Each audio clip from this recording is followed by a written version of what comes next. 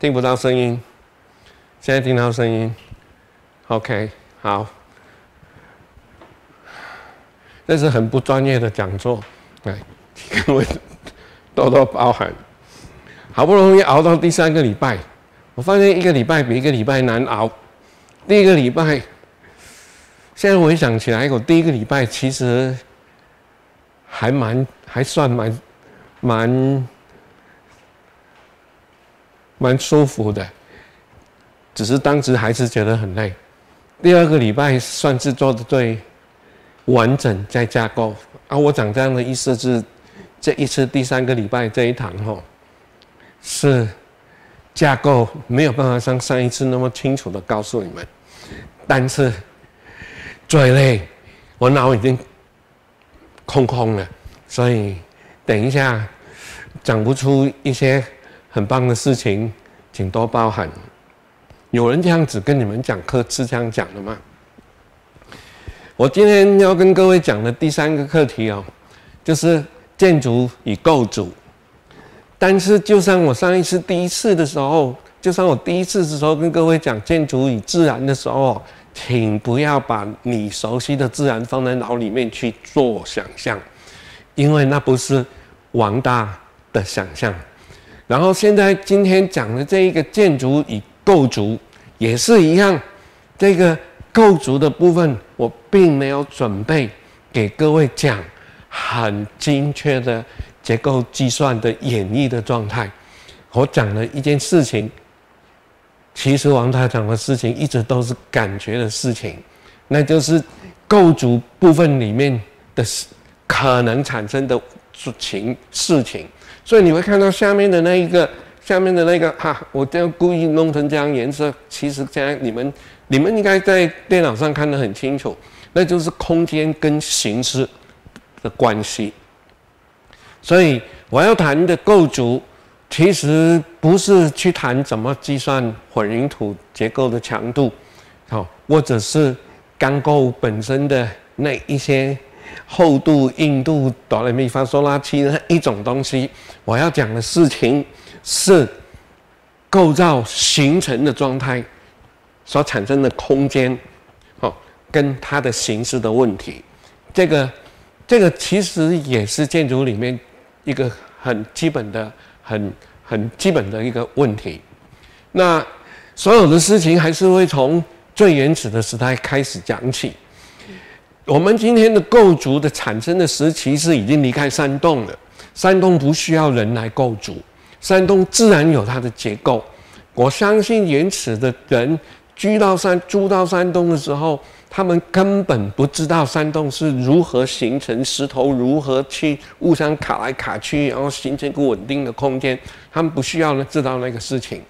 他们很可能的第一个、第一个观察的心得是里面的空，他们还不知道叫尖，哦，因为他知道那个空可以让他们包容走进去。然后那个空里面有很复杂的形状，然后那个形状，他们也只知道是一个很复杂的、很头角峥嵘的形状，然后是什么意义？对他们来讲，没有任何意义，因为他们只需要那个空。所以在那种状态里面，空间应该是人他一这个人类体认到。建筑的最早的一个元素叫做空间，所以我们会看到上上两次，我们都会花一些时间跟你再重新再提醒，就是所以他们会在那个山洞里面开始做描绘，哦，是不是有敲到一些石头，让它变得更平坦一点，可以让他们躺在那边，卧在那一边，我坐在那一边，可能也会有发生这些事情哦，对不对？那在那种状态的话，那也可能那个时代有些很孤僻的原始人，他们会走到根里面去，然后他们感受那个山洞，他好像后面没有人了，他靠着山壁，然后他看着前方，然后前方有人来，他可以闪，或者是他可以躲，让别人不知道他的存在。然后当他有这样的感觉的时候，也就是意识到他们可以感受到空间会有一种。我们今天的措辞叫做分化，哦，就是我们的生活的行为里面，是这些分化的非常严重。那就是我们上厕所，我们还要干的湿的分离，然后我们自己一家人住在房间。我记得我以前在越南小时候。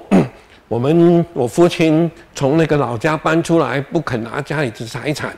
我们就住人家一个房间，一家四口，然后就住在一个房间，一个房子，房间里面那是我们的客厅，那是我们的餐厅，也是我们那个我父母亲跟我妹妹睡觉的地方，然后是一个桶间，就这样子，我们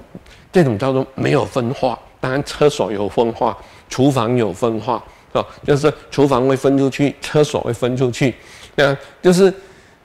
人类感受到空间大概一开始就是这样的一个状态。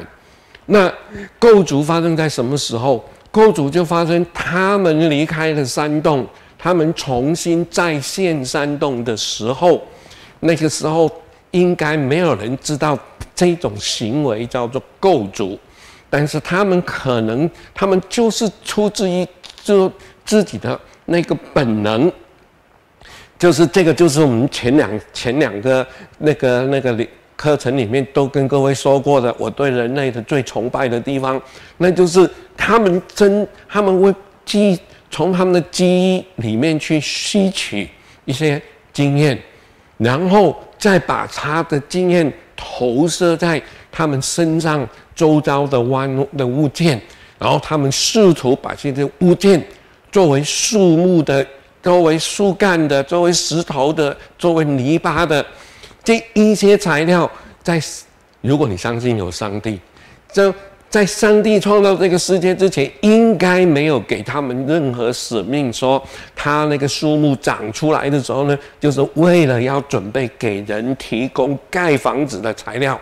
树应该不是为了这件事情产生的。就很像我们今天吃的所有的东西，包括那只牛，那只牛不是生了，在过去原始时代是为了要让我们喂饱了。今天被人养的那些牛是，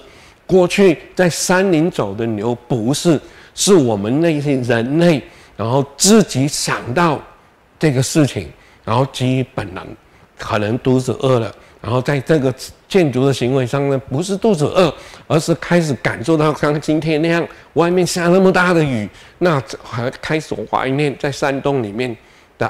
没有能够躲雨的状态，所以他们开始去把那些树木找来，石头找来，不晓得谁开始，他们就开始把它搭出一个一个空间出来，就是。空是他们眼睛看到的山洞，然后现在在这个自然的环境里面没有这个事情，他们就把那些树木替代的石头，把那一些冰块的那个那个那个结冰的冰块代替的石头，让它形成一个山洞，这样的一个行为，也许就叫做构筑。所以建筑其实很重要的原因，对人类来讲。就是不是对地球来讲，对地球来讲，人类的居住的环境是从山洞开始，因为山洞是地球的一部分，地球提供了，就是或者是觉得人借用了它的这一个一个山洞，但是呢，对人来讲的话，建筑是人创造的的一个物件，然后这个创造的过程，创造的状态，就是把一些。没有这种功能的材料形成这种功能的角色，所以他们开始发明，所以他们开始用想象，所以其实你可以看到，今天如果有人告诉你做建筑不要想太多，那个人是反建筑，你懂我意思啊？因为建筑同刚刚我的说法，如果你认为它是有理，那你要知道。它建筑从头开始就是创作的行为，它根本没有一个先天的，即使山洞只是它模仿的对象，也不是它效法的对象，因为山洞没有构筑行为，对他来讲，只有那个构筑行为是无中生有的。就像我们今天很多的朋友在念建筑系的时候，他们就做的工作，其实他做过一次都要知道。他应该要有通灵的能力才行。如果没有，他还是离开这个课程比较好，因为他要面对一张白纸，然后凭念力会把它在那面出现一些线条，构成一个空间。当它变成二向度的平面，他还是想象它变成三向度的立面。这些事情就从来都没有在他身边出现过，然后就在他的脑里，落在他的纸里，然后变成模型，然后以后真的变成一栋房子。这是超能力，你懂我意思啊？所以这个事情里面，就是建筑本身就是一种创作行为，没有想象力很难。然后，但是当接下来的时候呢？当你会构筑了以后，你看重新看这一章，你会发现每个地区的人，其实这一个这个只是举个例，这代表着每一个人都可能是不一样，就是一种米吃百样人，所以同样是构筑了一个类山东的空间，这一个这一个欧洲的塞尔特人，然后跟今天的印第安人一样类似，还是用那个树枝。然后，过去古代的中国人也也是一样，也是用稻草，但是他们用弯曲的树枝，用稻草，然后搭出了一个洞。但是到最后，他们的搭法，木头跟木头的关系，然后搭出来的形状的关系都不太一样。那更不要讲那一个在中亚地区的中东地区的人，他我们叫他中东。那个是我们认为我们是东方吧，呃，这不西方人叫我们叫远东，所以对东方对欧洲人来讲，他们叫东方哦，那就是他们已经开始要懂得用泥土，然后来制模仿石头，然后石头，但是他们的石头比他们的他们砖比石头还更好用，因为石头是大自然生产的。所以是每一颗都弯凹凹凸凸不平的。显然，他们用石头来堆叠房子，然后已经吃吃那个浮那个石头的不规矩的那个那个苦头，已经吃太多了。所以，当他们发现他们有机会重塑一个类石头的时候，他们就干脆就不要拿泥巴来搓搓搓变个碗子，然后就放在那一边，像石头的那种一颗一颗的叠起来。他们就聪明了，他们就开始变成一个方的木模，然后就变成了方形，就开始远离了，好像是仿石头，但是远离了石头，这是发明。对，所以这些发明一搭起来的时候，它的建筑的形态、它的空间、它的山洞又不一样了。所以其实你会发现，如果要这样子看，我们今天谈的这个构筑的行为，你该应该。到这里，你大概可以想见我怎么看的这个课题，就是所有的构筑其实最终的目的是会形成一个空间，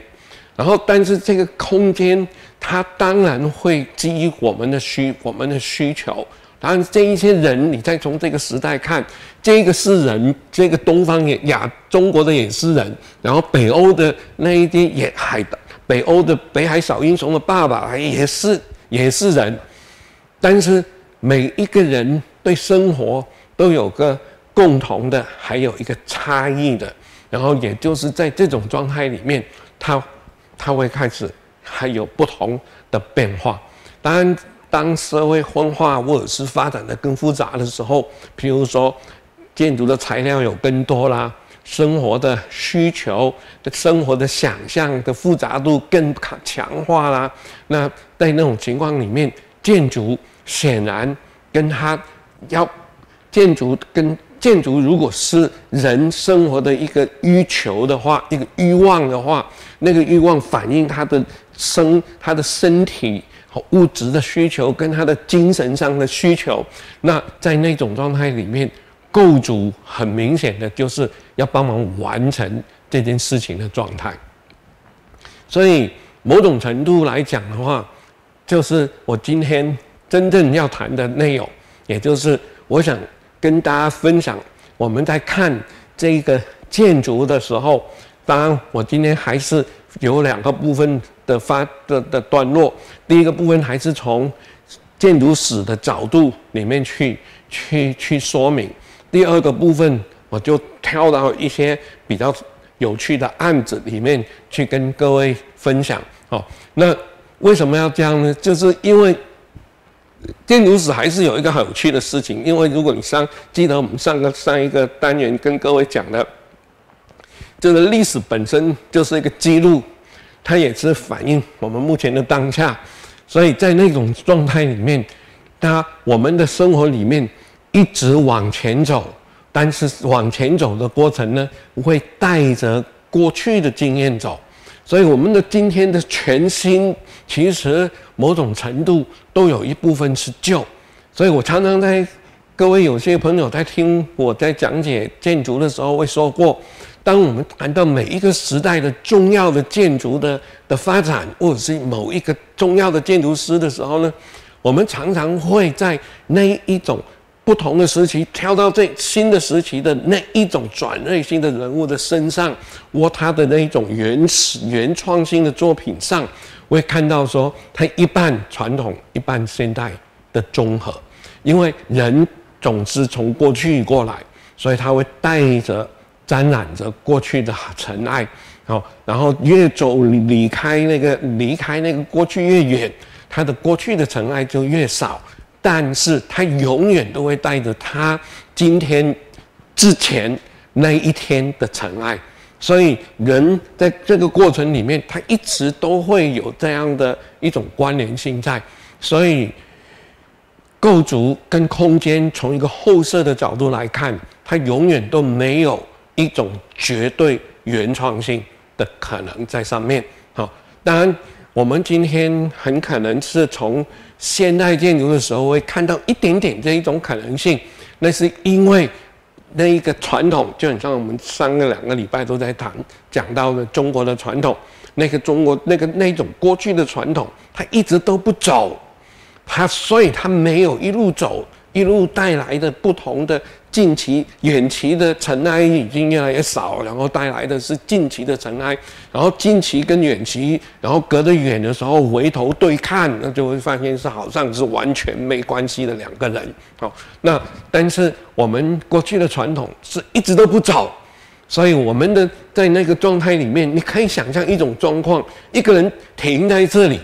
然后就停在这个古代。然后从幼儿一直到年老，然后都在那个位置上，然后就死掉，这样就是那种状态里面，他他一直都是偏跳。但是如果你父亲或者是你有亲人是九十岁的话，你翻开他过去的照片看，他他的衣着、他的他的表情跟他的那个照片牵涉到的周遭的环境，那就是让我前面讲的他的那个过去的尘埃。就是一路跟着跟着跟着，但是很久以前的尘埃它就不存在了，感觉越来越接近你现在这个状态。这个是这这个也许才是一个比较理想的真实吧。哦，我想我们要谈的是这样的情况。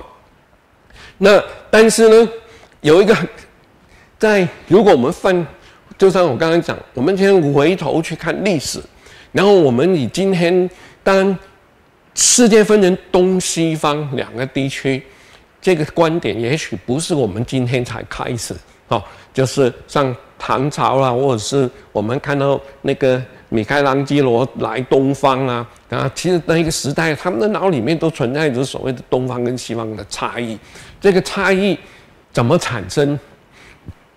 不是我的工作。好，那但是我们可以回头初步检讨一下，你会发现。其实大家都是，尤其尤最，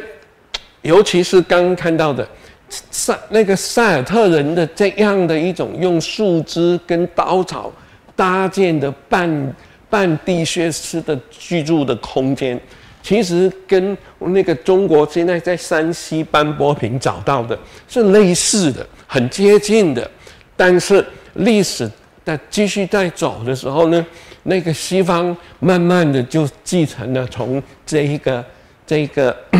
这个日晒砖，然后石头的那样的路子，哦，慢慢就发展出一套以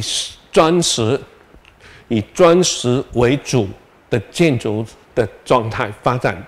那个以砖石为主的建筑形态，好，所以我们在这个这个系统里面，我们慢慢大家看下来的时候，我们看到西方的建筑就越来越硬，哦，越来越硬。也许他们的民间还是有人在用木头在盖房子，但是在某种程度，他们的建筑里面的经验。还是形成一种生活，就是说，人居住在一起的时候，有时候有些习惯是感情的感觉的问题。所以，我们今天很从后世的角度回去看他们，用理性去问他们的时候呢，他们没有办法回答的。就是，所以西方其实有些房子是用木头来构筑。但是他们很可能的建筑是用横的木料堆叠起来，变成那一个那种干栏形态的模式哦，就像你看那个西部片里面的他们在那个那个山区里面自己搭建的房子一样哦，然后他们搭建的方式就不会像东方的建筑那样，就是透过这一些竹竿。然后中间这个填空呢，我们就慢慢的用比较省材料的方式来填。那个省材料的方式，可能就是木门、木门窗。然后门窗的过程里面，好像我们对玻璃也不太会被。我其实东方是不会做玻璃，还是不爱做玻璃？这也是一个有趣的问题。我们的窗口都用纸来连。哦，那有也许，比如说那。其实我们的工应该不至于这样子吧？那如果是这样，这个回答是正确的话，那这个用纸来连就可能就是一个情绪的问题，或者是情感的问题哦，或者是偷懒的问题。因为我们祖宗是这样的，我就要这样。那我为什么要违背我的祖宗呢？这样是大逆不道的。因为我祖宗应该是他这样做的话，应该是按照过去。传统思维的模式，我们会认为他这种方式一定有个神奇的开端，哦，然后这个神奇的开端，那个神教了他这样做，所以一定有神的道理，我没有必要去违叛背叛神，所以我只要跟着他因循下去就可以了。所以这个就是那个这种就是情感的问题、情绪的问题，而不是理智的问题或科学的问题。所以在那种情况中，他地区性的发展、地区性的情绪，他们就开始产生不同的建筑产生。好，那现在就问的说，那西方一定要变成这样吗？东方一定变成这样吗？我也没办法回答，我只能可以告诉你说，如果这一个城引发这样的方式建筑的某一那一群人，那那一群人不是只有在一个时代。在一个城市，而是在那一个那个城市里面扩出扩中了一群人，然后他们延续到不同时代，加上他们过去的政府的征战，他们会扩充到他们周边的国家，然后把这个东这个经验变成一个共享，然后他们会形成这样。那如果那一群人他们全部很早就移到东方来的话，那会不会东方的建筑不是这样？有可能吧，对不对？但是。我们后设的只能这样猜，但他基本上就已经在情感上做了一个决定，然后情绪上做了一个决定，然后这个情绪透过一个封建社会的关系，它甚至变成一种一种恐吓的状态，你就是必须要这样子做上去，否则你就叫做离经叛道。哦，这是过去社会产生的，我想。这些建筑的形式，它一定内在带有着这一些因子在上面。那中国的建筑，透过那个很简陋的木构架，加上茅草，然后慢慢的开始变成瓦片，变成精致的、很讲究的木构架。但是呢，他们主在听说，在唐代以前，那个。中国，我们今天以唐代就是这个中国的的那个那个社会里面，他们其实不是不会做砖，但是他们几乎很少做砖，然后所以他们就就大部分都是木头，演一整只木头的话，那就他们的窗口门窗就大概还是用木头继续做下来，就像我刚刚讲的，所以我们上一次看到梁思成在做这个鉴真和尚。的纪念堂的时候，很明显的这一些都是传过去的门窗的那个木构造的形态。所以那个门窗本身，我刚刚也说了，我们一直都用纸而不是用玻璃来做那个透空。那也许纸可以让空气转进来，那些风隙可以用空气转进来，所以它能够形成适度的那个那个通气的状况。那那个时代的中国人可能那个东方人他可能习惯了这一种凉爽，所以大家也就不想再变了。就像我前面讲，所以它就就变成这样。但是你会跟我问说，那你看今天？尤其像我们台湾这种林林安泰，哎，不是这新竹的，或者你看今天的林安泰古厝也是一样。那其实台湾的清代有很多的三合院，它其实说什么木构造，其实都是砖石做墙，你又只有内部的支撑着屋顶，屋架是木头，然后支撑木架的这个结构是木材，其实大部分的分割墙可能都是砖砖造。那那那不是中国建筑吗？那他们的说法是，砖的运用大概是他唐朝的时候开始，从他们怀疑就是他们因为唐朝那个时期开始接触印度教，而印度教早期盖的的那一个那个寺庙主要是盖佛塔，所以那个佛塔今天我们到印度去，或者是到。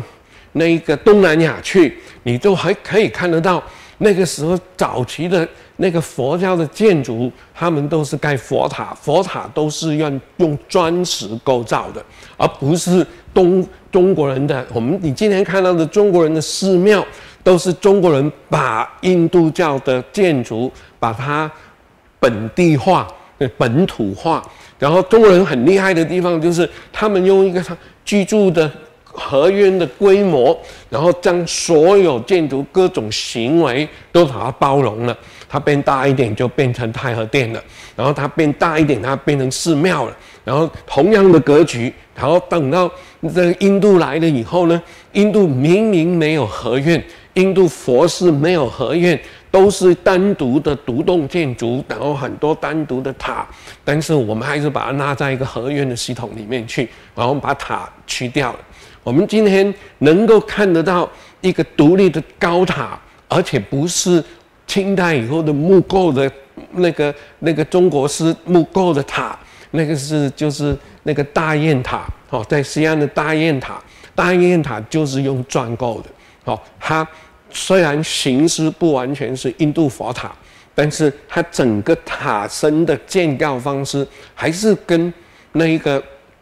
那个。那个印度是类似的，所以它的那个塔身底层非常厚，因为它要把油路堆堆堆叠上去，它里面大概也没什么东西，因为它也是跟那个印度的佛塔一样，那个佛塔也是不一定要有佛佛像放在上面，它可能是空的哦，所以那个是在那个这些其实都已经从那个角这个角度来看，我们后期的一堂以后的。然后其实到了清啊，明清哦，那已经用砖来做墙了很多了。但是问题是我们的技术还是很薄弱，因为我们没有办法像罗马刚刚你看到的万神殿那样盖一个非常大的那个砖塔，然后那个房子本身的开口还用很壮观的拱，哦来形成。那所以中国呢，那房子里面的开口即使用砖还是很小。因为我们拱技术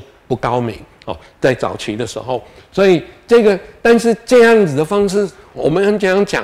这样比较，并不是在比输赢。我们要比较的事情是比思路，就是思考的方向哦。那但是，当然在变成这样，刚我们也说过了，它有什么好处？其实的好处就是。传统的中国建筑，其实它今天的采光，它采光比我们今天的建筑还要薄弱一点。但是相对于欧洲的城堡、欧洲的民宅，过去的传统的民宅，它的光线显然是明亮很多。因为理论上，它这一面几乎所有，就像你还记得上个礼拜我们看王大红的的那一个复刻版，就是在他森林美术馆复刻版的那一个房子吗？那个那个制彩，那个全面的窗口，长条的开窗，然后它是用了玻璃，但是你可以想见，古代的人是用雕花的空窗，然后在上面贴把纸，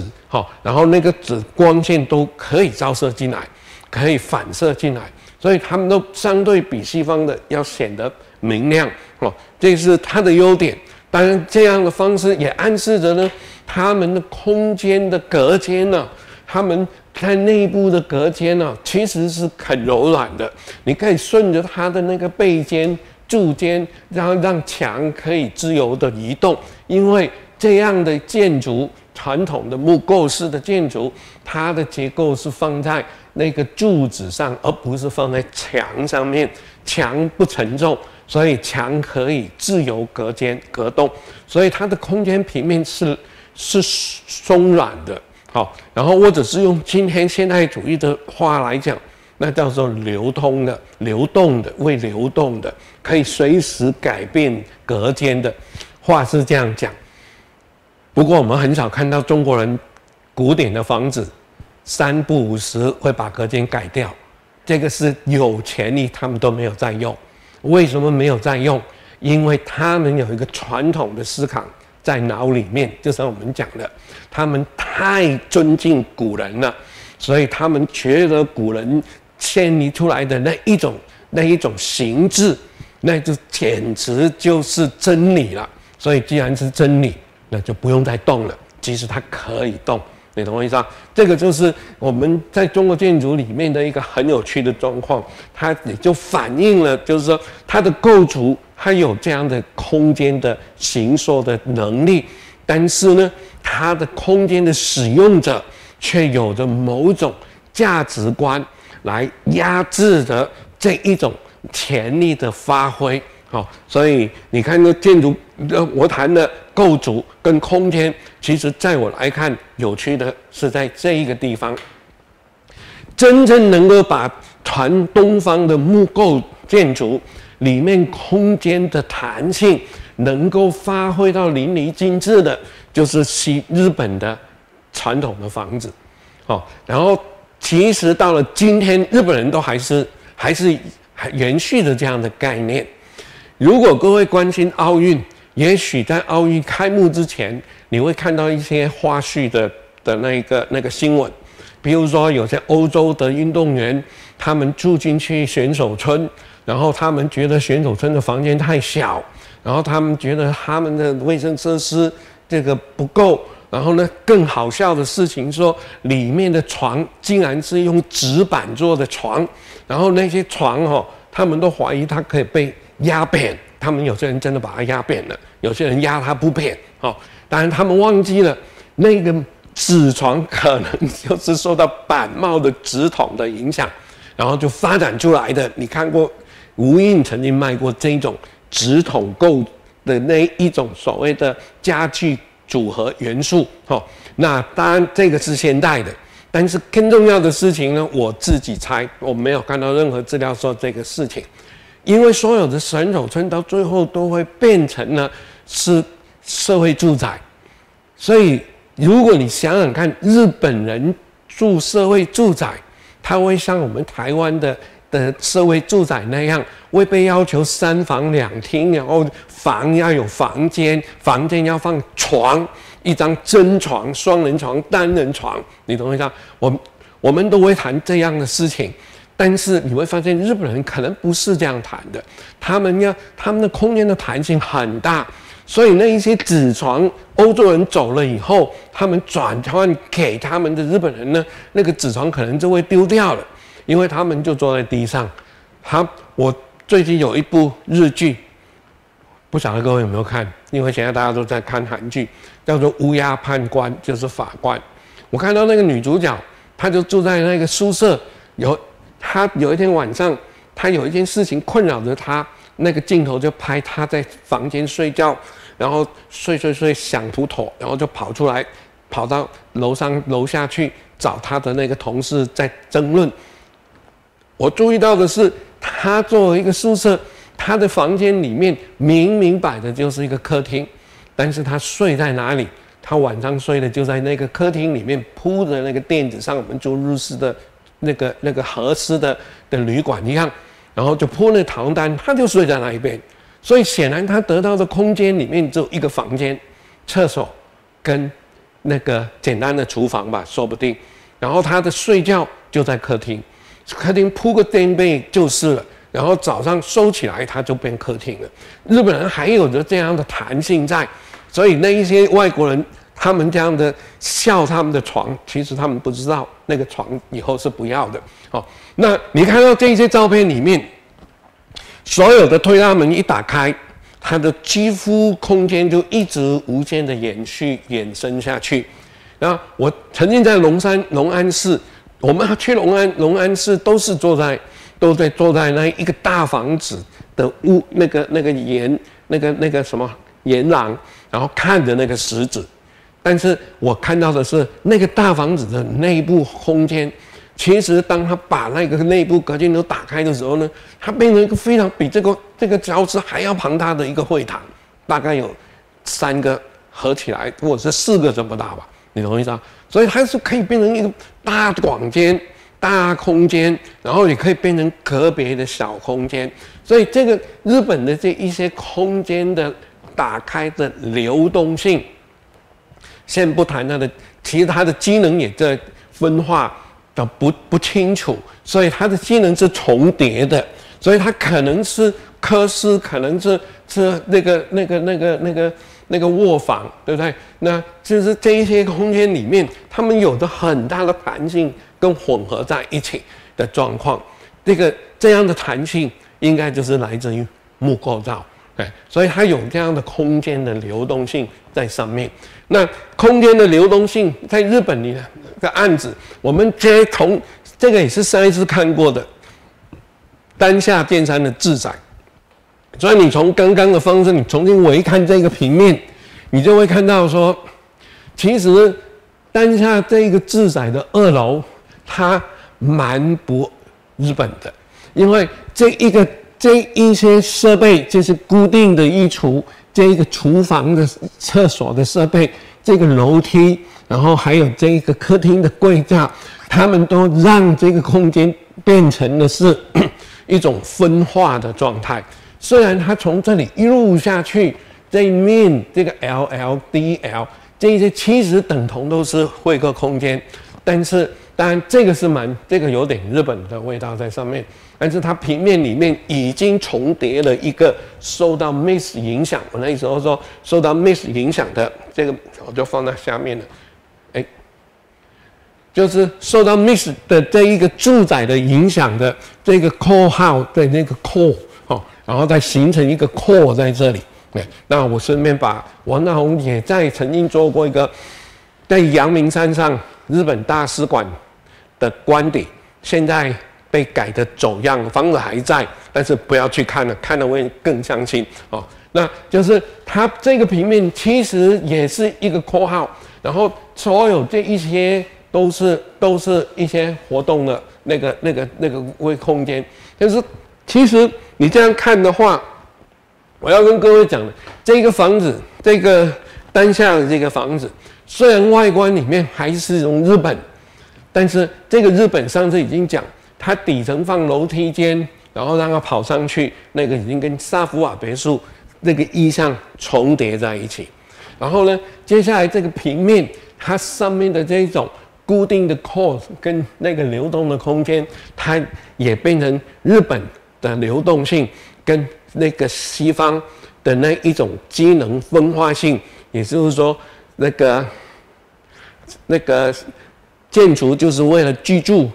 来完成的状态，把那个居住的功能放到最大的时候，它会变成一种硬块，那就是那个自由、那个流动跟那个硬块的一种综合。所以这个房子已经是不中不西，好是当下的。然后当下是什么样呢？就像我们上次讲的，当下是一个当下的人，所以他身上带着他的日本的传统的尘埃。然后他也接收当下西方的灰尘，然后就变成一个这样的一个独特的住宅。所以，与其它的它的我对我来讲，它真正的价值应该是这样吧。当然，你看这个楼下这个楼梯，这一些垂直线条、水平线条跟斜线条各种线条的视觉构成，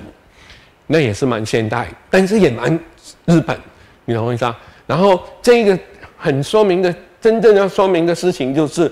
丹下本身除了作为一个日本人，一个东那个欧那个一个当代的人哦，我们都是啊，但是他还有具备他。个人独特的审美，所以建筑人人会念，但是线条一画出来的时候呢，它的美跟不美的那个视觉品质就会出现。当然，我们现在同意，就是在启蒙运动以后，我们都同意一个事情：你没有先天的优势，但是你还可以后天的练习。我不知道它是先天的呢，还是后天的，但是它。真的，一出手，从这个平面构图里面的蒙德里安的构成上效果，跟这个立面里面的立体线条的构成，都很厉害哦。这是它的特质。那这个案子里面，你可以看到，就是我们看到的这一些，这一个这个房子哈，这样各位也许可以把这个画面留下来，如果你有兴趣。你说它这个楼梯是很厉害的。这个楼梯从中间进来，然后中间进来出来了以后，理论上在过去日本的房子是出来，如果你要到了一个楼层，通常都是从沿廊进房间。现在呢，他一进来的时候呢，他把那个沿廊变房间，所以这个房间本身，这个房间在这里，其实它某种程度等同是沿廊，哦，因为人会从这个地方一路走到这，如果。主人允许的话，这是客厅，这是起居室，然后这个呢是卧房的客厅，哦，所以卧房的起居室，所以这个是公，然后慢慢的就到客餐厅来的时候就是然后密度就越来越高，然后在后面这里呢，其实它有门，它还推了还是有，但是他们还是可以变成是一个回廊，哦，所以它其实是一个沿廊。然后这一个其实也算是一个沿廊，所以它的客厅的西方的名称跟他们的那个开放的沿廊其实是混杂在一起。后来妹岛有做过一个住宅，也是把那个楼梯放在中央，然后每一个房间二楼的每一个卧房，他们哦都是靠外侧沿廊来通达。所以他就楼梯上来的时候，他要去这个房间，他会从这个沿廊里面去看这个房间。所以这一个人的私密性会因为他朝上这一边背对着这个洞，他好像有一个稳定性。然后如果他愿意的话，他把它关闭起来，那你就不能通过，它就连成一体。然后但是你走过来的时候呢，你也可以跟他发生关系。哦，所以这个是非常日本的，充满了空间的流通。跟那一种融合的弹性在上面，这样，所以这个当下当当下当下在蛮年轻的时候就能够掌握到这个，这是蛮蛮厉害的。这个是我是用来比较以那个 Mister 那个 Flowers 住宅来看待他们这些人。上一次谈到这个房产的 Miss，我说他的房子里面是用一种矩阵的观念里面去诠释这个世界。那这个那时候我没有跟各位提到矩阵的方式是在这八根柱子，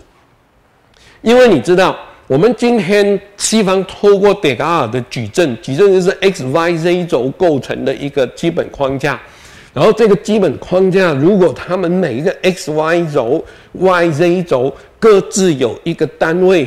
那个、那个、那个、那个、那个分配的话，那他们就是那个各种单位的分配，就会把这个上面的空间形成一种网络，一个方、那个方框架，就是那个网络里面的交汇点，那就是这个空间的位置。哦，这个我们叫做指标。我们以前在国中的时候。被这一套东西搞得快死掉，在数学上哦，就是它会有一个矩阵。那今天我们的那个 Google Map 哈，或者是我们在地球仪里面去解读每一个地方或者是天空的的位置的话，我们都是用类似这一种分割成方块，然后组织成来那个那个那个密集组合的格子的系统里面去确定我们每一个人所处在位置的的那一个定位点哦，就是那个交际焦点。所以，Miss 在这个房子里面，它通常都会打上这样的方格子，不论在真实的材料材料跟平面图都有。它我们称它它称这个叫模具，它大大概就是三十吧。模具就是人的身体的一个基本状况。你今天到 IKEA 去，你会看到它所有的家具几乎都是在三的倍数。哦，就是六十九十两米一，哦，这样的一个三的倍数，然后那个就是他们那时候谈论出来的，就是人尺寸里面的一个基本基本的那个那个那个数字。然后呢，想，所以你可以想见，它这一块基地虽然是二向度的平面打了一个一个格子。但是其实他要告诉你的事情的话，就是它还有一个三 D 的格子在上面，所以整个的空间开来流通，其实它是一个笼子，然后那个笼子就确认了每一个位置被定位出来，你去打。打那个电动，然后我们在看人家那种飞机的战争片，然后说那个飞火箭已经把对方锁定，那个锁定就是那个我们已经抓到它的位置，然后呢，它的位置的移动呢，我们都能够在德嘎尔的框架的体系找到它的点，然后我们只要对着它，按着它的轨迹，然后我们就跟踪着它，我们就会打得到它了。哦，所以它的垂直元素它只做了四根。然后，但是其实暗含的意思就是，这个玻璃盒子里面就是把那个德嘎尔把那个看起来自由自在、无法掌控的空间，然后变成可度量的空间。然后那个可度量的空间跟我们的人的身体内在的那一个那个框架、那个那个 x y 轴的单位数是契合的。哦，所以这叫人体工学的模具。然后，但是如果它这一个契合，想要谈论这个水平线的那个视觉比例对不对，那它可能还会谈到那个材料，这个跨距这么大的时候，它必须要有多厚，所以它也有一个所谓的这一个材料本身的的魔术魔术在上面。哦，那就是会有。整个空间里面，那是从德高尔想象中的一个很虚无假设性的线条，然后开始变成物质性的线条，然后这些物质性反映我们的构材构筑的物质性，然后同时呢，也暗示着在我们人身体内潜藏着的无形的、隐形的的模具。的那个物、那个、那个、那个尺度性，哦，所以它就是等等同一个理性主义的状态，从德阿德格尔的理性主义开始演绎到建筑里面的内在万物，所以我们那时候才会跟各位谈密岛，等一下还是会谈到。那我先跳过去，这次王大龙这个早期的房子啊，它跟那一个当下的的那个住宅有点像，它它它也是利用柱列。然后把底层悬空做停车场，然后做服务空间，然后呢，周遭还是会流通到屋外，好，就像萨福尔别墅一样。然后有个楼梯上来，这个楼梯上来了以后，这个是个玄关。然后在进去客厅组的时候呢，他们会绕着这个厨房，这个厨房就是这一个厨房，呃，就是这一个这个厕所哦，跟那个厨房，然后就绕着这个核心，前面是对外。然后绕后面是对内厨房的的佣人是从那边走过去，然后呢过来绕着四圈，就很像这里绕着周遭，它就是一些开放空间，从打麻将、客厅、会客，然后到用餐哦。那进去那个住宅区的时候呢，它就是变成前后厢房，还跟中国传统的那个那个前后厢厢房嘛。然后进来了以后，也是一个括号。然后围绕着这个洗洗洗轴的卫生一个空间，然后的绕一圈，然后这些就是古代的传统的廊，哦，就是会形成这样的一种一种中国的空间经验、空间想象，然后跟西方的那一种那个框架系统，会形成一个一个一个关联。哦，这个那现在你大概我就是给你回想一下这个事情。那我觉得在这样的一个东方的柔软系统里面，真正做到淋漓尽致，而且超越过中国传统建筑的那一种合院的僵化式的布局哦。那日本日本相对比起来，我觉得以传统的木构建筑来看，以今天后设的角度哦，就是你必须要注意我这一个前提哦，以今天的后设的角度来去看的话。我觉得那个日本的空间里面的柔软弹性，比中国建筑更强啊！因为中国建筑一下子就被儒家的那个那个什么那个礼义廉耻啊，那种尊贵的系统啊，然后把它落在建筑上面的时候呢，建筑就僵化成三合院，然后每一个合院合院都是透过单座建筑所构成。单座建筑本身，它的厚度不够，它的内在的分化的可潜力不够，所以它就变成一个非常浅薄的，或者是浅薄的一种空间的平面，然后就只能够用一个大布局来讲故事，然后它内在里面缺乏曲折的变化，或者是意想不到的自由的的变化哦，那。那个日本，我们刚刚已经看过，它有很多的流通。那这个流通，在流通跟封闭、流通跟约束之间，最精华的、最精彩的就是这个茶室。茶师这个是千利休做的茶师，叫代烟，在一个忘记那个寺庙在什么那个寺庙里面，今天这个还存在。好，但是要参观。还蛮辛苦的，就是跟去看那个桂离宫的情况是一样的。你可以去参观，它还在。那前两前年的时候呢，那个深美术馆就做了一个一比一的，在他们的那个日本建筑的展览里面，哦，让大家体验这个空间。这个就是真实的房子，你可以看到它的这一个洞口。大概是六十乘以九十左右吧，好，的一个一个小洞口，然后这这一些是现代真实的太太，所以你可以看到这个进去的时候，其实空间蛮蛮拘谨的，所以他在用这个千利休是刻意用物质性的拘谨来让你坐在里面，你不要看到这个茶室的空间是这么大啊，其实喝茶的人只碰到这一个地方而已哦。哦，这个床，这个是床之间的床，这精神空间，所以也只能用精神去看待而已哦。就是这个，你不能坐在上面的床之间不能坐的哦。那我们现在是乱来的哦，都是常常去那个温泉旅馆哦，就躺在上面都有的了。这样，就是这个是用来放宝物的，好，然后是一个精神空间，然后这个空间空在这里，然后变成你实质物质空间的一个衍生，哦。所以他们只有只有这这两个榻榻米的这个空间，那这个呢？这个不是也有一个榻榻米在这里吗？就是视察的人是从这边进来，然后从这边是做准备，然后呢，这些复杂的东西都放在这里，然后过来这里，就像这个太太坐的这个地方一样，要过来这里的时候，他是在煮茶哦，煮茶。这里有看到煮茶的壶吗？他的身边好像会看到那个煮茶的壶哦。就在这里煮茶，然后他们坐在这里喝茶。那你今天看到这两位太太坐在这里的时候，就说：“哎呦，还蛮宽敞的。”但是你忘记了，丰臣秀吉过来的时候，他不是穿这样的。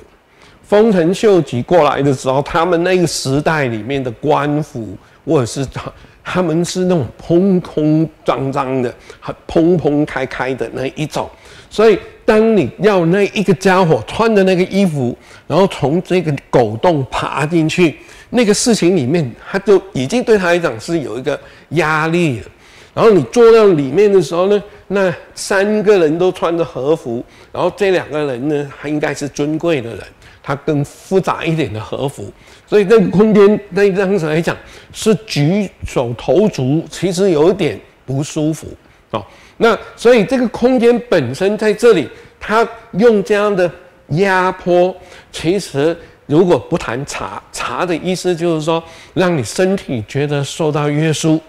所以你心情不安，然后你不安的时候呢，唯一一个办法，那就是忘掉它。所以茶会给你。试图去忘掉它，但是如果茶跟可乐那么好喝，那么感觉那么直接，哦，那个感官性很强，你喝下去的时候就都喝完了，一口就喝完了。好了，我们要干嘛？那又回到这一个复杂的人生。所以他他的茶里面是很淡的，很苦，有点苦的。所以他那个茶你要喝下去的时候，你感受到它的变化，你要安下心来，把注意力转到喉咙。你才感受到它的变化，所以当你这样子往过来在看的时候呢，你等同就忘记了身边的事情，所以你那个时候那个不自由就没有那么不自由，因为你不你忘掉了，然后你开始放在这一个茶里面，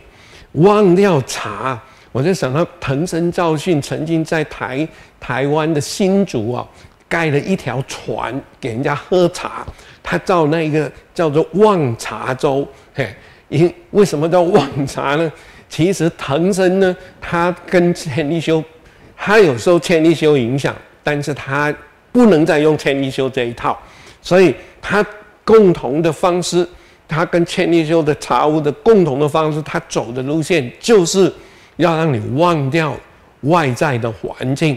然后是透过你专心用茶，所以那条船哦是他自己乱做的，所以放上去的第一次还沉了，听说。所以他他在做成那个船上来的时候呢，那个船会晃晃摇摇晃晃，尤其你几个三四个人坐在一条小船，然后你要喝茶，如果我们都没有不，我们我不晓得日本的古代人是多拘谨，要多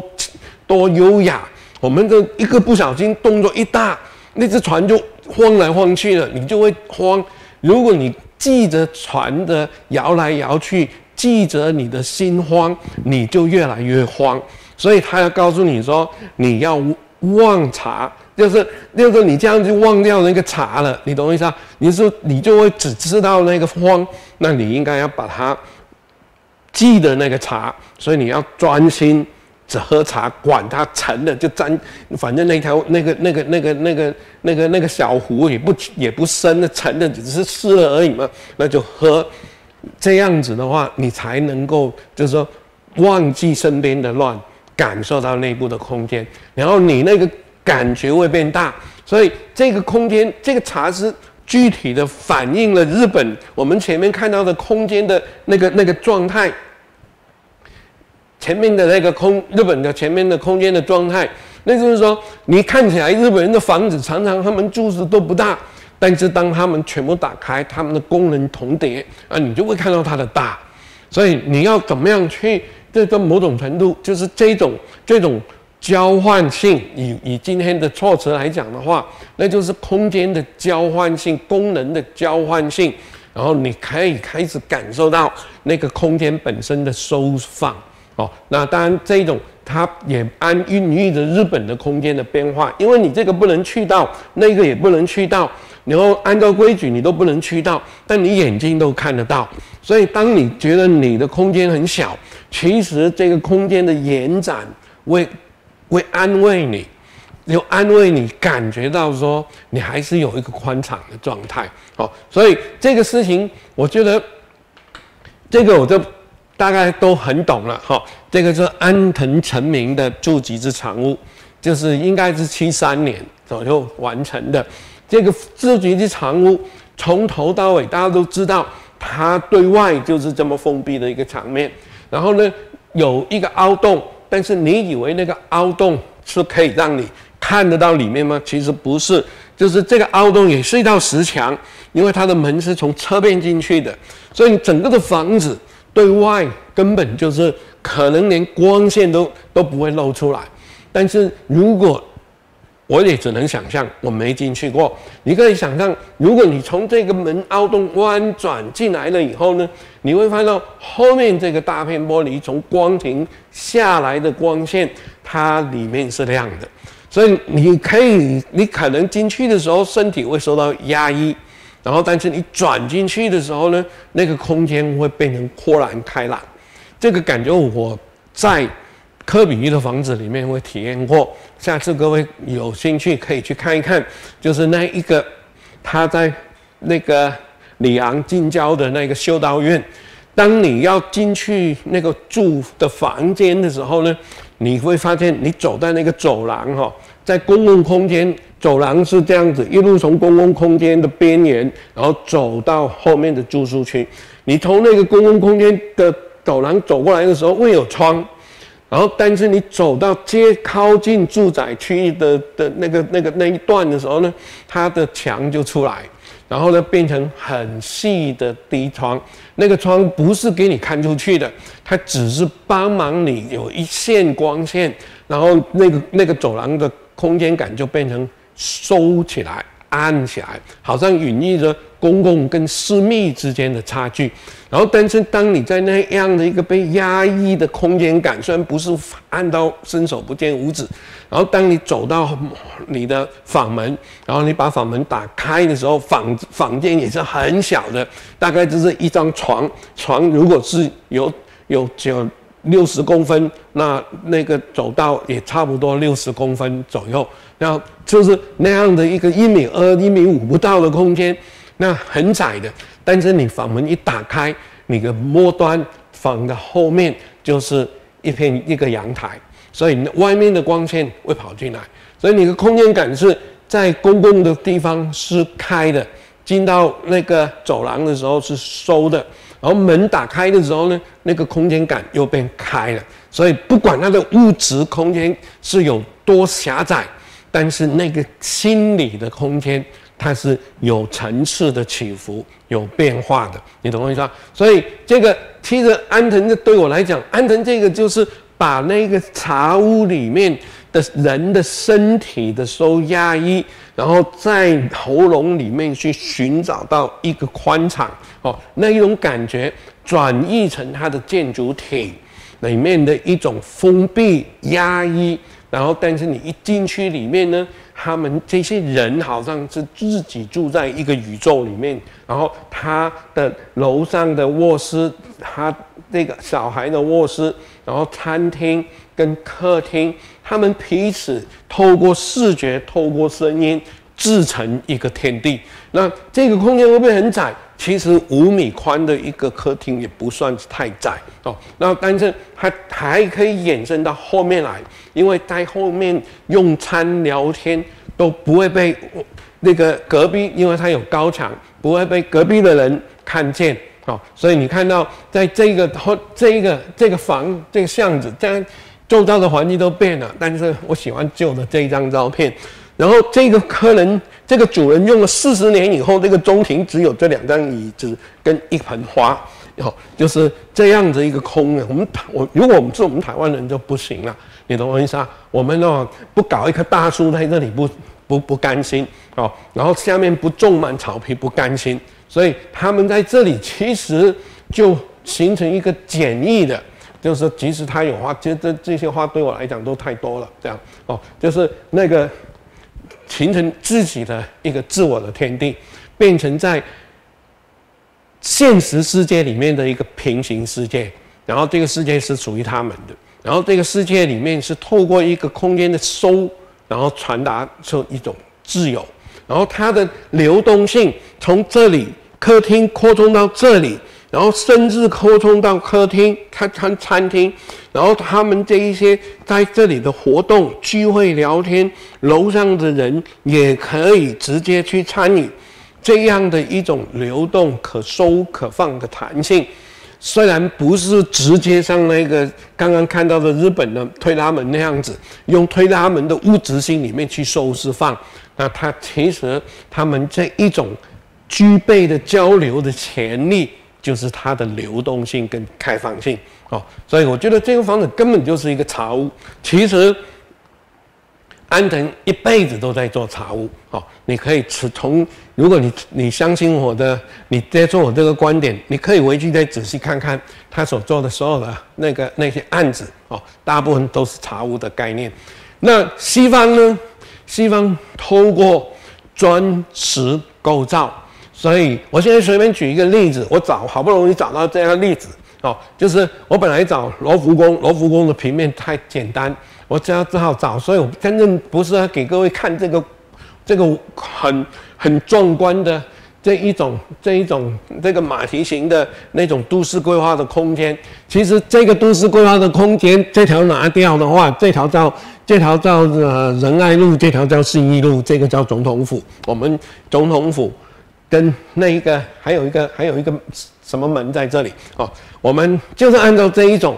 十七世纪的巴黎的这一种都市都市雄伟的巴洛克都市规划的方式里面建立出来的。你有注意过吗？你有这样子认真看过？从总统府站在总统府二楼的平台，下次你去参观总统府可以试看看。你看你有没有办法看到这两条鹅？鹅掌鹅掌路哦，就是这样的一个一个一个一个林荫道的分配。但是我其实真正要看的是，你看我们去凡尔赛宫哦，很少人看房子，好不好？我我觉得大部分人在这个花园里面走半天都已经走不完了，你懂我意思啊？哦，就是太大了。就是那我要找的是它的平面。我要给各位看到的事情是，这些房子的墙都是承重墙里面去做出来的，所以当它完成了以后呢，它就没有办法随意的去打通它的空间。所以它的空间如果那个时期不是早就流通的话，他们的平面就只能一间一间的留着。如果你各位去过罗浮宫参观，它那个王宫的部分，你就会看到这种事情，就是你会看到它的空间里面，这这个这个就是这个后来增建的这个通廊，这个叫镜厅吧，哦，就是它的它的阳台在这里，然后它这一边充满了镜子，把那个阳台复制过来，变成一个非常华丽的巴洛克式的那个环境。那这个就是类似。它应该就是在这个地方吧，就是火炉在这里啊，然后墙跟在这里，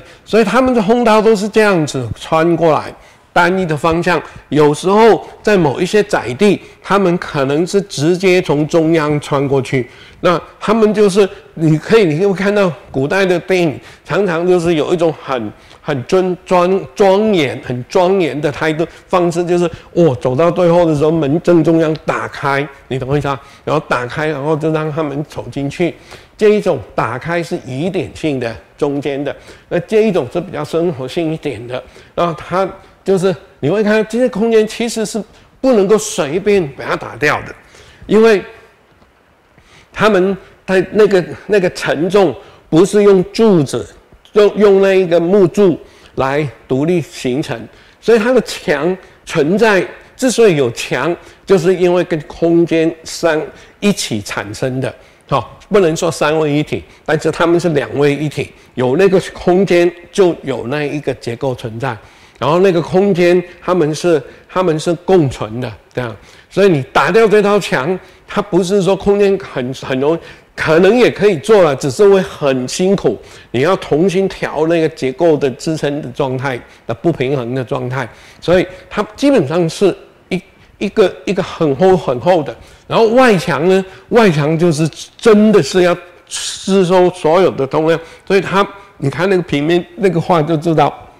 很厚。所以现在西方建筑在利用的时候。或者是改建的时候呢，他们有一个很方便，相对有一个方便，我们东方建筑比较难。那就是说，他们可以把整道外墙留着，这道大墙厚到可以自己独立起来，你只需要再加一些辅壁，然后就可以了。然后呢，它后面整个空间都给它拆掉，然后再重做，然后它变成一个新的系统。然后但是有一个假的立面，你懂我意思？所以这个是他们的。某种程度的优点，他们就变成是一个非常封闭厚实的状态。这种封闭厚实的状态，在传统的社会，他们把它转移成那个空间的意义，因为它会形成一种庄严的，好像一种很强烈、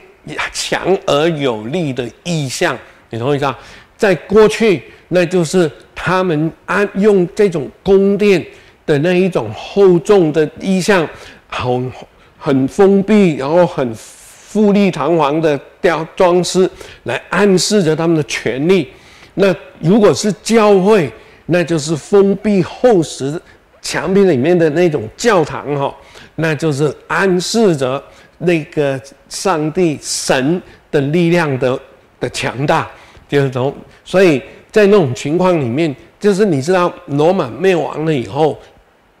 天主教曾经要必须要自己独立去面对北方来的这一些东哥德人这些野蛮人的侵袭。所以他们也要有军队，他们也要跟他们打，然后他们也要告诉他们说，我们上帝是掌控你的死亡。所以他他那个时期里面的教堂面对着这一些哥德人，他们呈现的不是慈祥的一面，而是要呈呈现一片非常坚强的一面。所以他们要告诉他们，他们神你打不败我们神的，你懂我意思啊？而且我们神呢还可以给你。一种机会，就是让你能够得到永生。所以在那种状态里面，他们他们有某种这种建筑的的外观的厚重性是必须的。但是这种这种状态，到了十七世纪，工业革命起来，然后开始形成一种消费的社会，然后农农民进入这个环境，开始。有独立经济的可能性，可能性的意思就是说，那些农民涌入了城市，进入资本主义的系统，去工厂。如果他聪明，他会变成郭董，或者是变成马云，你懂我意思？但是如果他不够聪明，他就会变成死在路边摊、路边的那一些全身长满苍疥的那样的一个一个一个流浪汉。哦，因为他可能会剥削的不不行，所以反正那个那个时代在工业革命以后会有这样的变化。但是当那一些农奴进入城市，到工厂工作，然后运用他的智慧形成了马云那样的一个状态，变成新的资本家，那这个事情里面也暗示着那个财富，他们有些人可能会可以跟过去的贵族比对。连教会都比不上他们，所以他们就变成新权贵。哦，那新权贵呢？他们因为活在旧社会，他满身还是古代的尘埃，所以虽然他用的是工现代的工业文明赚到了钱，然后但是那个早期的资本主义的贵族，那个那个那个资本家，他们仍然是想要享受贵族的优点，所以他们也是从他们也是。在那种状态，他们根本不想租工厂，他们想要住的赚到钱，想要住的就是贵族住的王宫，你懂我意思啊？所以在那种情况里面，那个在十九世纪以后，那个古典主义本身哦，它已经变成一个基基本上的价值观，不论是新社会的人，那个资本主这个资本家，还是旧社会的贵族，他们都还是要用这样的事情。那但是呢？资本的人资本主义的发展还是会强迫到这个世界有一些事情会被改变。在一九一八五一年的时候，那个英国要想要推动他们的工业产品，他们就办这个被称为第一次的那一个世界博览会哦，就是在伦敦要盖一个展览展览的空间，邀集所有的厂商。然后跟不同国家的厂商来这里做一个商品展示会，哦，然后大家聚集在一起，因为那个时期里面，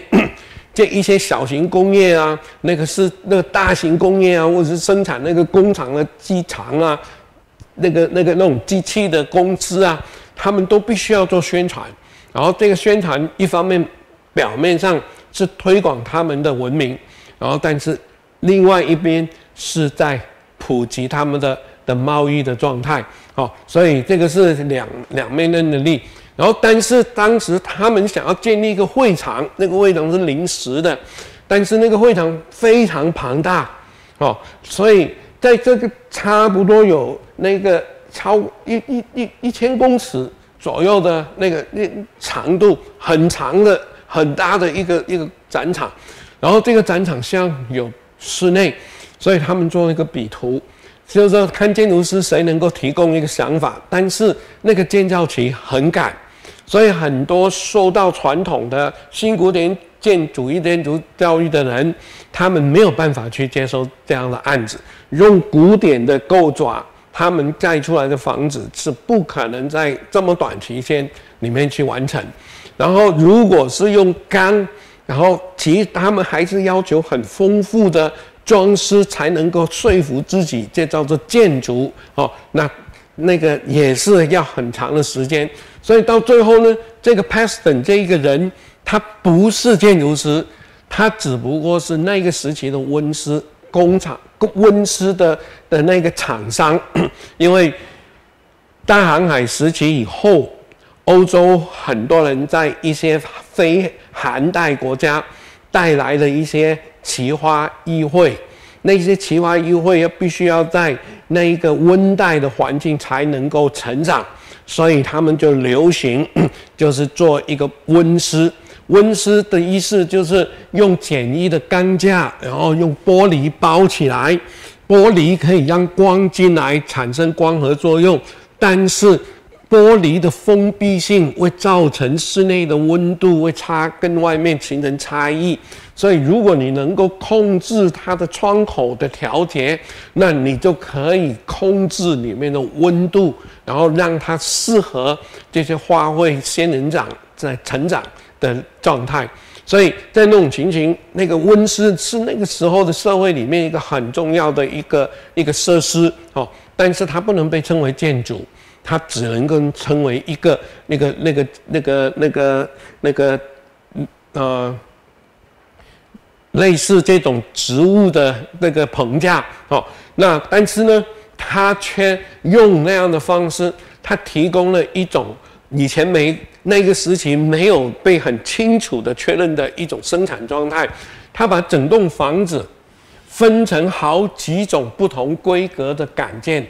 然后这些杆件都是铸铁的，然后他把这些杆件算出它的数量了以后，他把它送成不同的的那个厂商，就是那些厂商都没有办法有一家独立承揽。这么多的的量，然后在这样指定的时间里面交出来，所以他就把它分批给不同的的厂商，所以把那个化整为零哦，然后呢，每一个人生产的模都都按照那个模具，然后到了现场的时候呢，是用组装的，所以他的工人在现场只是组装三砍玻璃，然后掏一下那个泥灰哦，就是最简易的方式，然后而且。因为是组装，所以几乎同时就可以同时性施工，没有像以前那样子说要盖完这一个地方要等到泥灰干掉，然后支撑的能力够，然后从在上面再盖，然后这样的话就是说，否则你太早盖的时候呢，下面的粘合的那些水泥都还没有胶合的够，然后就被你挤压出来了。然后它的那个那个真实的结构存在的状态就会失败哦，所以他们有那样的时间去，这一个没有，所以他能够很快的做出来。当时他们一定是不把这个房子当个一回事，只当做是一个临时的空间哦。那很可惜，这个后来结束的时候留了一小段，但是隔了十几年。然后一场大火，它被烧掉了。所以在伦敦，你今天看不到这个水晶宫。但是那个水晶宫，它这个水晶宫留下来呢，就是我们今天从后摄的角度回看这个空间，其实会惊觉到说，这个空间其实透过一个新的技术，因为它用铸铁，然后铸铁它算好它的跨距，它的跨距其实也不会太大的话，它它它。这个跨距不会太大，然后它的那个上面的那个轻钢架厚，那个那个那个厚那个深度够，它就可以支撑上面的空间，然后它变成密密麻麻的矩阵，然后但是因为它们是铸铁，所以它不需要让木头。它的因为它的它的那个密度够强，所以它不需要木木柱这么大的一个断面，它可以变成一个小的断面。那更不要说石头，所以它如果是石头，那个断面更大，那这一些垮距的空隙就变得太窄。但是呢，他们用了铸铁了以后，它的结构变成细长细长条，然后它的空间跨距其实不是很大，够用，但是呢，它的视觉的穿透性就是会变成一个网络，所以它会变成密密麻麻的网络，然后空间在里面去流窜，你懂我意思啊？那这种经验是过去所没有的。你去歌德教堂勉强算有，但是歌德教堂的柱子太大了，然后因为是用石头的，然后。撑着上面的那一个尖拱也是石头的，所以它必须要有很大的力量要下来，要撑着，所以它底层的支撑力就是你像你看人家那种叠罗汉有没有？上面叠罗汉的人呢，其实叠的人呢越叠会越少，因为那个越叠越多的话，那底下那两个人哦，他所有的力量都落在那底下两个人的腿上，然后那个那个腿要承受的力量是最重的，比上面这个还要重。因为上面这一个的话，它只它上面这一个只乘它第三层以上的人，然后第一层的人要乘第三层以上加上第二层的人，所以说力量一路集中到最后就越来越大，所以它的底层会变很重。但是在用铸铁钢以后呢，它没有这个事情，所以它会变成一个非常穿透流通的视觉感。所以那个时期里面，他们在这个空间第一次看到。空间的延展性、空间的扩张性、空间和你自由分段落的的可能性，这些全部就是他在那个时期里面发现了。但是那时候的人是不是真的就懂了呢？你知道，我们通常都是这样说嘛。你父母亲给你的教训，哦，很可能等到你八十岁的时候才恍然大悟。通常都这样，挖都是按那样哦，所以这个你就知道我在说什么。那现在如果你要体验这个空间，我给你一个建议。我前几年的时候在马德里自由行，然后住在那边一段时间，然后他发现，在那一个那个 Prado 美术馆附近的公园里面，在那个大公园里面去逛的时候。突然看到一个水晶宫，它的名字真的就叫做水晶宫啊，Palazzo do Cristo，哎不对，啊不对不对不对不对，这样子哦，就是它真的是一个水晶宫，它规模没那么大，它就是一现在也是做展览的空间，过去好像也是做展览的空间，它就是用水晶宫类似的铸铁，它这个盖在一八八七年，比一八五一年晚了。大概好几十年哦，但是显然你知道那时候的传统的人哈，能够接受到这样的东西就已经算很了不起了。所以他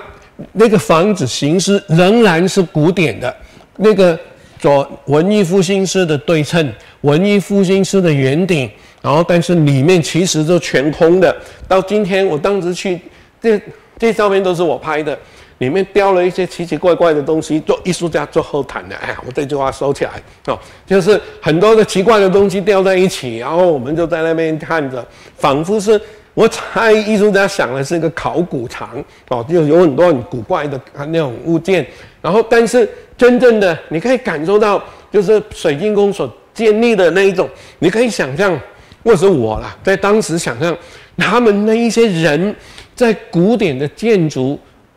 本来就是一种厚重封闭的状态，进入室内等同是一个山洞，但是呢，现在它处在这里的时候，跟屋外的光源是一样的，然后，但是它又跟处在室外不同，因为这一些古典的元素或者是建筑的元素会告诉他这是室内，然后这一个室内的状态里面跟那个室外，它会形成一种。非室内，非室外。对，今天我们很喜欢，我们已经习惯跨领域的事情。但是那个时代里面，这个是一个非常有趣的事情。你说不出它是室内，也说不出是室外。然后在这种状态，是一个前所未有的很特殊的经验啊。那我想，你如果要体会那一个，也许你下次去马德里的时候，你可以去看看哦，这个这个案子。这样就是类似这样的形态，但是你可以看到哈，水晶宫跟这个水晶宫一样，虽然他们已经出现了一个 新的空间了，但是呢，他们还在用古典的语言哦。那这一种空间，其实这他这这样的一个一个一个技术，用铸铁来做成这样的一个建筑的棚架，这种技术，那个时代里面，他们是跟什么人共享？你知道吗？他们是跟土木界的的技师共享的。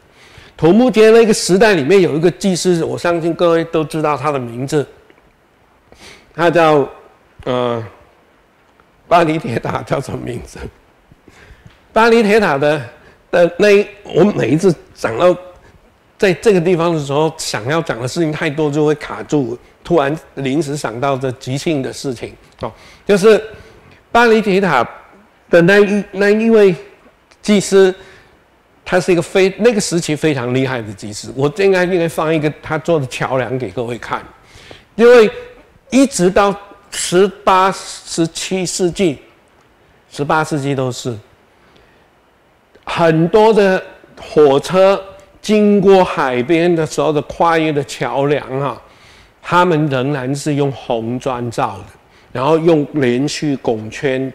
对吧？你现在你知道这种桥的意象嘛？对不对？您一定想到的就会觉得好浪漫的。为什么我们高铁不做这种桥呢？哦，那那一种桥，这一种拱圈的结构是罗马水道的时候就开始了。所以也就是说，一直到了十七、十八世纪的时候，跨越大的的距离，那个时期的欧洲人仍然只会用罗马人的造式。短的跨距可以用木头搭木桥，大的跨距他们只能用水呃那个砖来搭用拱哦。罗马的水道桥是很多的拱叠罗汉，人就叠到最最上面最细的，那他们这个就不用叠罗汉了，他们就直接用拱做上来。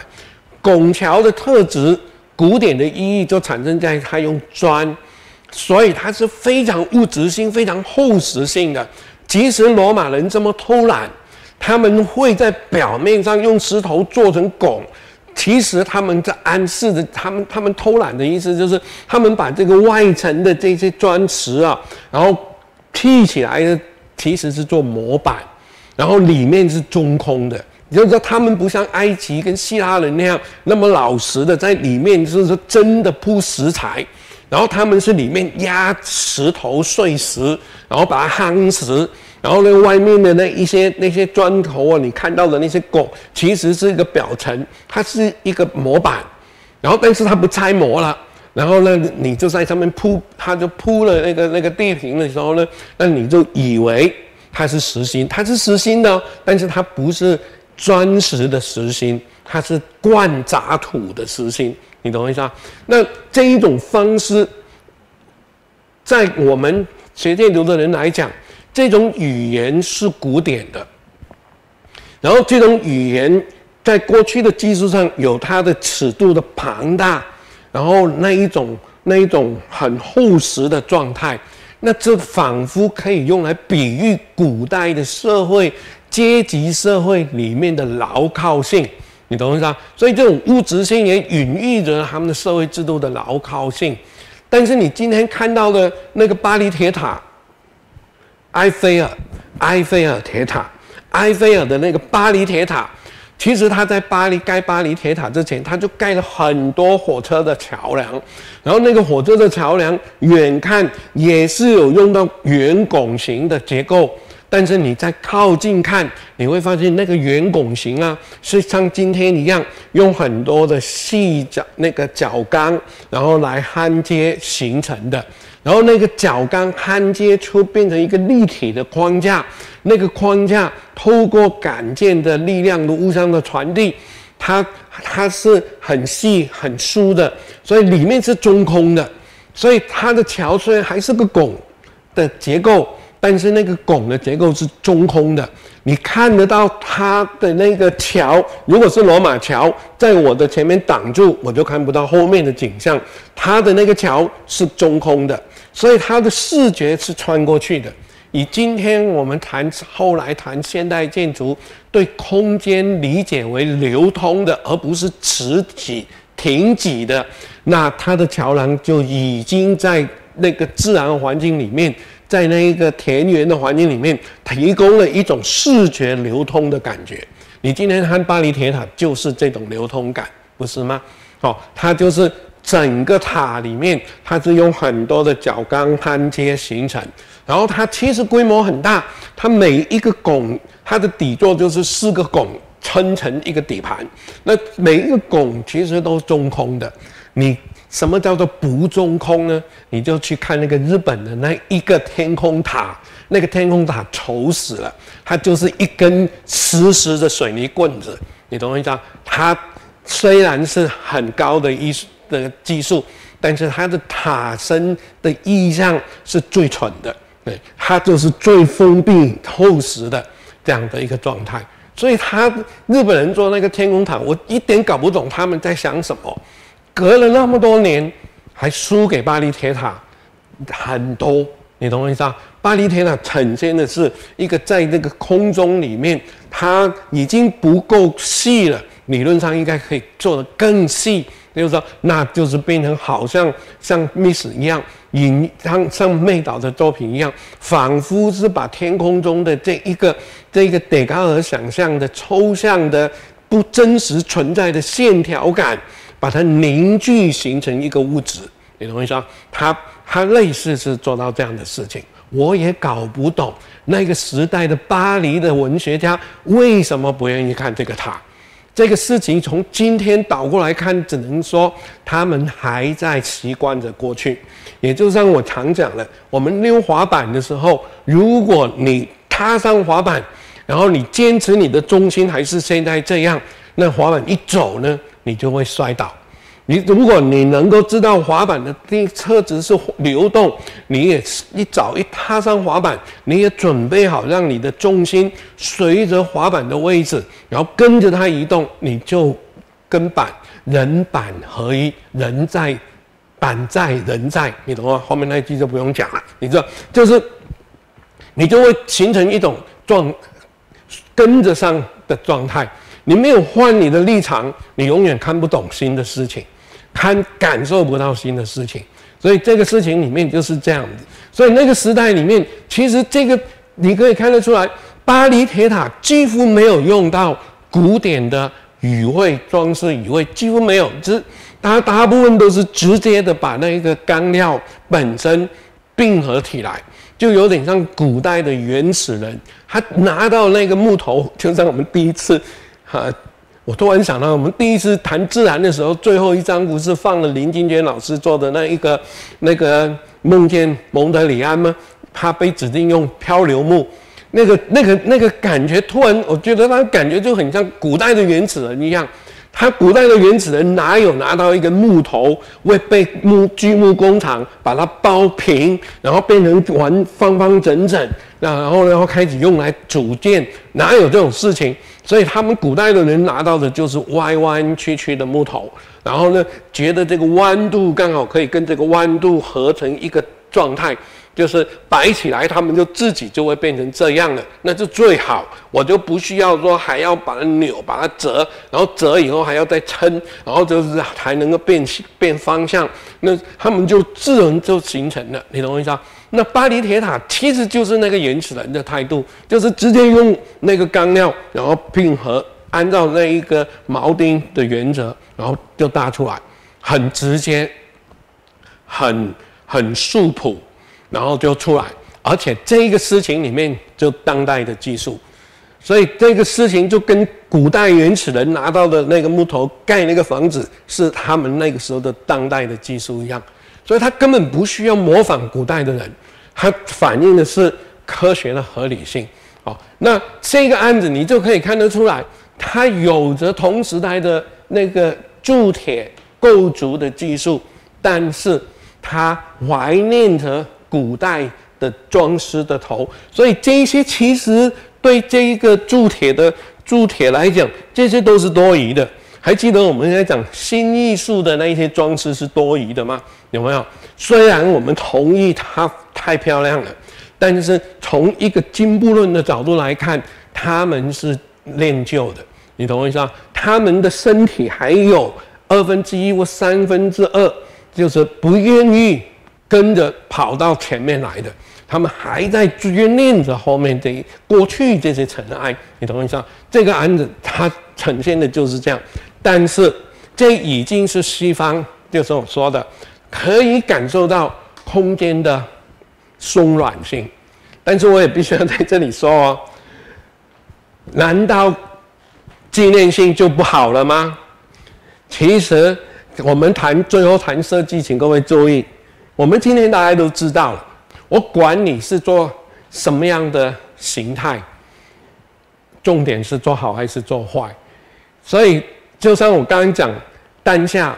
当下的重要的事情里面，就是他的手爪能够把那些木构。木头整合线条符合结构的需求的位置，但是也符合视觉平衡的位置，所以他的审美对，他观念也对不对？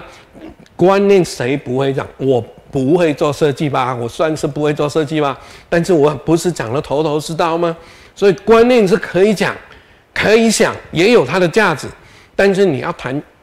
作为一个创造者、创作者，你做不出来就不算。所以你不要说人家打羽毛球的时候为什么不跑快一点去接到那个球呢？你讲这样没有用，你懂我意思啊？就是谁都知道，但是你的身体能不能是一回事。所以这个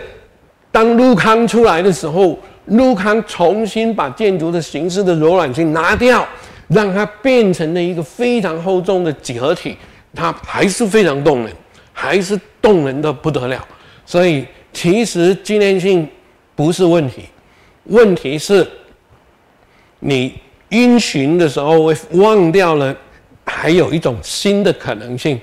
当然，古代的那个君王的那一些宫殿，他们犯的毛病还不在于他的房子的纪念性，而是奢侈。你还记得刚刚看到的凡尔宫里面的空间的状态吗？哦，所以他们的空间是装点出来的，而不是空间的。价值、空间的格局自己跑出来的，这样，所以这个是很可惜。那西方真正，其实我们看到那一个那个水晶宫的柔软性，但是其实真正在西方的建筑界里面，提出流动空间这个说法的那个人是美国人，是莱特。我们党很关心建筑的朋友，很多人都知道莱特。哦，莱特的。这是莱特，可好像是莱特的第一个独当一面的作品。这个房子，你仔细看，你怎么看都不觉得它跟现代建筑有任何的关系。它完成在一八九三年，一八九三年现代建筑的观念还没有成型，现代建筑确定要走成抽象几何立体的的路子，大概最快也应该是。一九一零年左右的时候上下了，哦，就是这种历史的分段呢，通常都是一个概说，而没有办法很精准，因为都是一种观念嘛，哈。那所以这个案子里面，你看到了斜屋顶，看到那个那个房子上面修的这些线角，然后整个的立面不确定它是有用到钢。看起来它应该已经可以用到用到钢，或者是很凝重，它它它还是感觉很像承重墙的结构。为什么叫承重墙的结构呢？因为这道墙很丰厚，然后洞开口它是很小心翼翼的，不是从这里一路开到这里来。理论上，如果是现代建筑，如果你有需求，你可以这样开，哦。但是它后面的这一个后面的这一个圆的这个空间呢，它其实也就已经开得很开了，哦。那当然这个是上面没有承载，所以这个也许还不确定。那但是你这个窗口已经开成四方了，所以如果是用平拱的方式来支撑的这个窗口的那个那个。开口的状态，那这个跨距稍微大了一点点，所以其实这个房子是有一点点。如果这如果这个房子像我的猜测，它已经开始用到混凝土的结构，然后它还做出这样的对称的立面，然后做成暗示着好像墙面是承重墙的的品质，才开出这样子小的单独的小洞的窗口，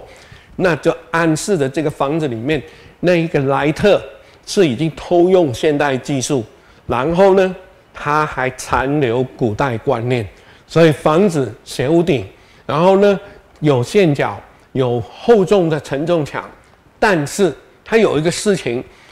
很不古典。那个事情就是刻意在这个二楼的立面上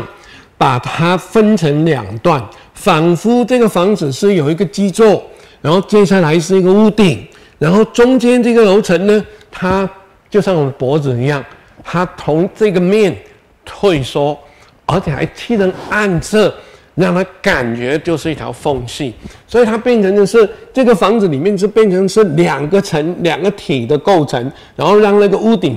悬浮在半空。所以这个事情里面，它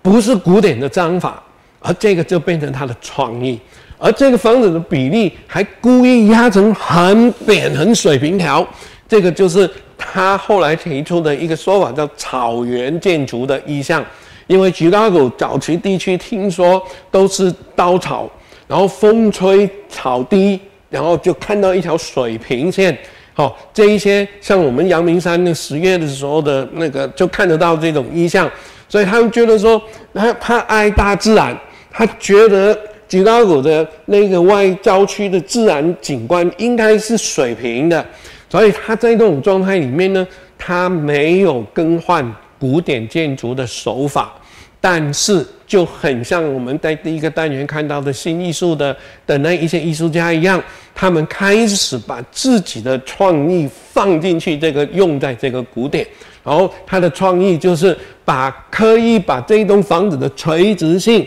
切两段。然后安示的房子是水平而不是垂直的，你懂我意思啊？然后就可以跟那个水水源、呃草原的意象会形成一种联想，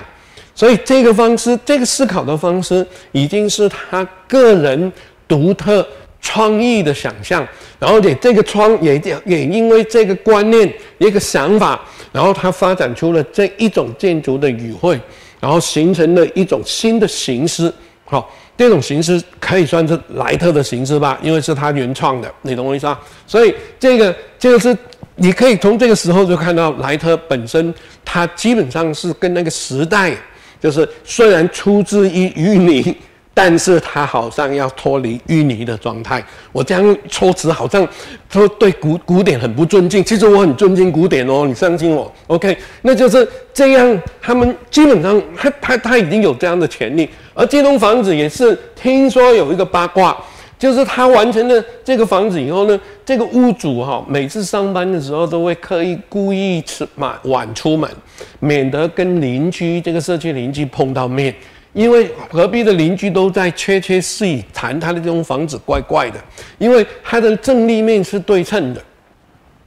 但是它的背立面是不对称的，就是看起来好像这个圆形出来的时候应该是左右对称呢，但是它为什么不知道不对称呢？因为这一个部分它是半屋外的，今天它被加了玻璃窗，所以它是凹进去的一个洞，好，然后在这一边呢，它是负。服务空间是厨房，所以它本身是封闭起来的，所以这个立面在后面这个空间感是一前一后退缩的，所以看起来尺度对称，但其实他们的意向是不对称，不像前面那样子哦，所以在那种情况，他们觉得这个人怪怪的，这也是暗示着那个时代里面的观念，建筑一定要左右对称，这是。文艺复兴建立出来的一个状，你有看过哪一个人是只有一只手背的吗？除非他被切断，被切断的意思就是说他还留着受伤的痕迹。然后没有一个人是出来的时候，我们会习以为常说，没错，人只有人规定谁出生都是要两只手背的啊，也没有人规定两只手背都是一样长的，为什么这样不可以呢？你懂我意思？我们今天还是不能接受这种状态，因为我们认为应该是这个样子，这个样子。所以有中央，有左右。你看，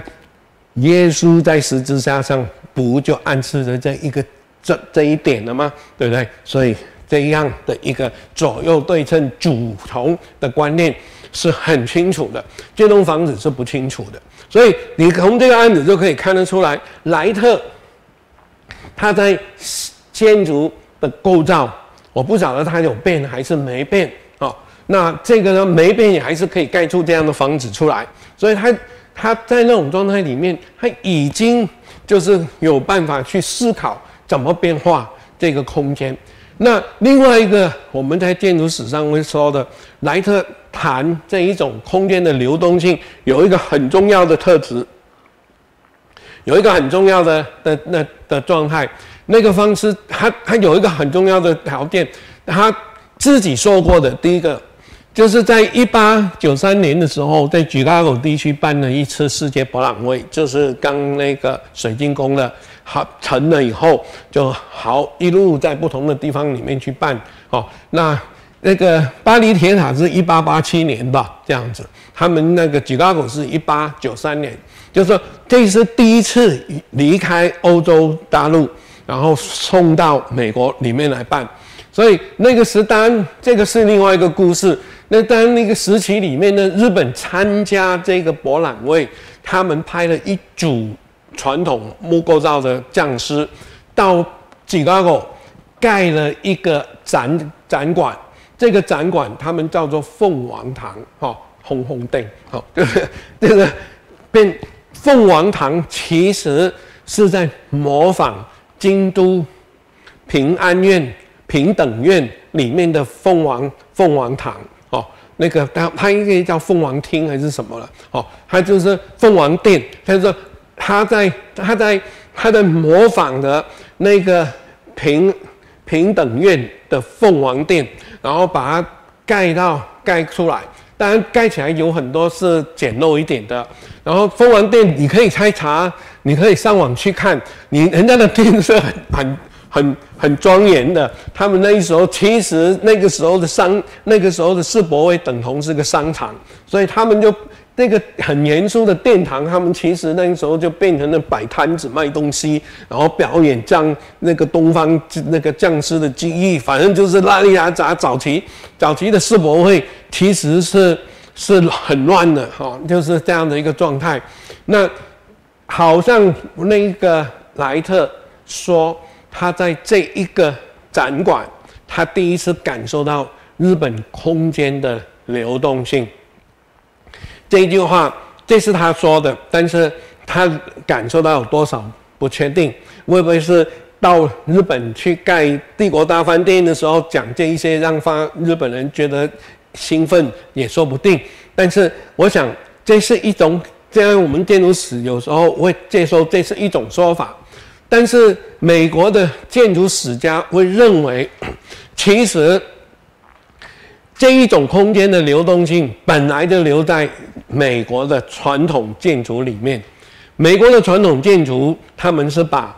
印第安人的系统拿掉，因为那不是他们的美国的正统的历史，因为正统的历史是从欧洲进来的白人体系。白人体系进来了以后，当然一开始是一上岸的时候什么都没有嘛，那就只好砍伐树树木，然后就堆叠木干木干，那那个那个树干堆树干，然后就形成一个方盒子，然后再加个斜屋顶就可以住啦。所以你看这西部片里面不都这样子吗？在那个荒山野岭里面也，然后就是就就他们就早期的是这样的方式，这种方式的房子是在北欧原始时期就开就有了，你懂我意思啊？所以其实美国的文明蛮有趣的，它等同发展成熟的欧洲的资本的阶阶级阶级社会，然后开始流放回到。一个他们的文化起源的源头，没有一个国家的文化，没有一个地区的文化有机会这样子回到源头，因为那一些那一些在社会界在在西方社会里面阶级比较高的的的贵族跟阶级比较低的这个这种这种那种无业游民一起到了美国下船，然后马上迎面而来的就是印第安人跟野兽，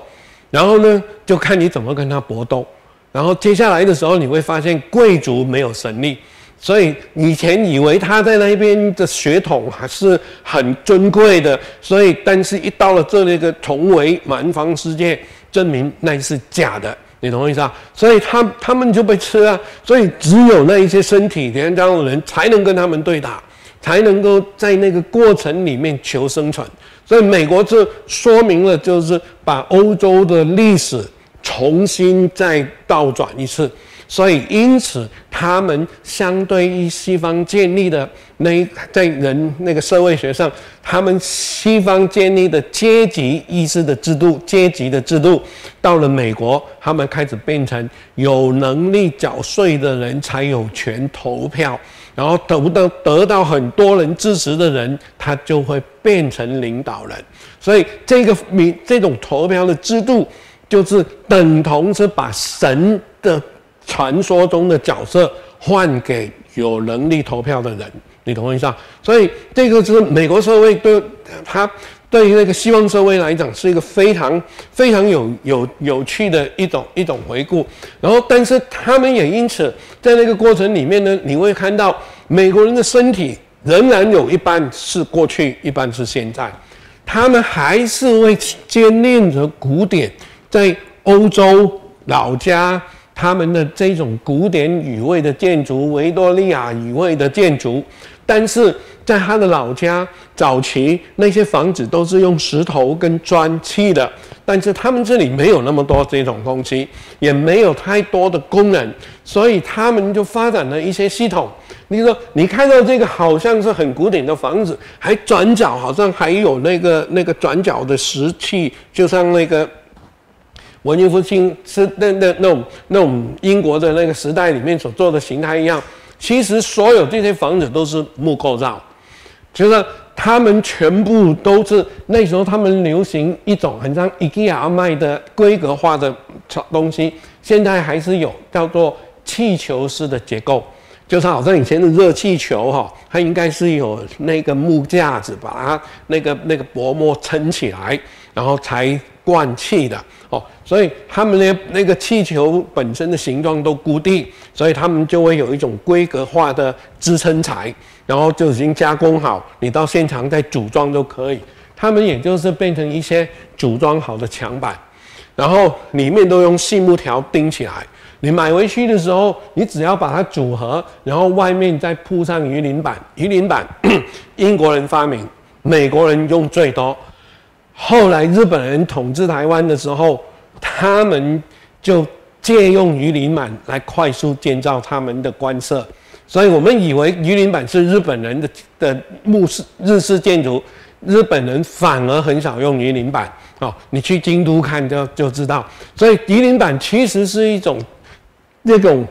量产化的规格型材料，所以美国人到最后很多的房子都是这样子。到今天美国人的百百分之百分之最少在五十以上的的住宅区的房子，都还是用这种木头的的架构里面去定造出来的。你看那些好莱坞的电影，他们的郊区开发在盖社区的时候，你就看到它就是这样子。所以他们可以盖出这样的一个教堂，然后他们的形式都古典的，但是他们其实是木头的，所以它里面的隔间都是这种木架，也就是暗示着这个木架支撑了他们的屋顶。支撑着他们的墙壁，但是这个物架是可以随时敲掉的，中间的，你懂我意思？你可以买回来是这样，你也可以改成这个也穿穿孔，你只要补墙就可以。所以他们认为说，美国的传统建筑从白人来以后算起的那个历史建筑史，它本身就是鱼鳞板建筑的历史，你懂我意思？而且是木构造的历史。然后它的木构造，它的古典意思百分之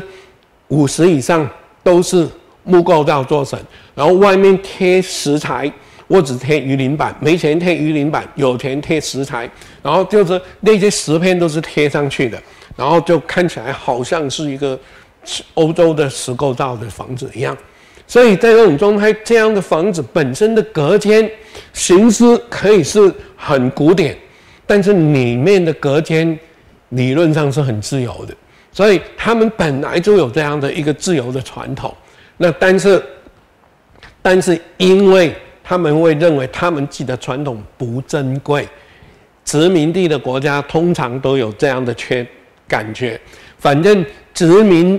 殖民政府都是比你厉害才来殖民你，所以殖民政府的所有的动作都是最前进的。然后相对呢，我们自己的方式就会变成了我们的习惯，就会变成是一种不入流的，你懂我意思啊？所以这个就是一种殖民地的心态，所以他们要变成这样，然后里面他们有那样弹性，但是他们不认为那是他们的优越点，他们其实反而以为他认为他们是缺点。所以如果你有兴趣，你可以翻查一下一八。九三年的那一场 Chicago 的 的那一个世博会，如果一八五一年差了超过接近五十年，接近五十年，如果英国的那一个水晶宫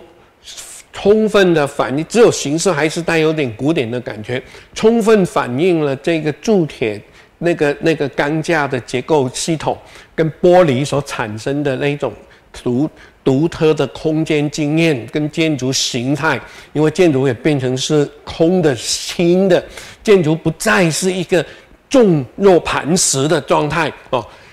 如果英国人能够接受这样的一个前进的意向，那个一八九三年的这一个展场，吉高谷的展场，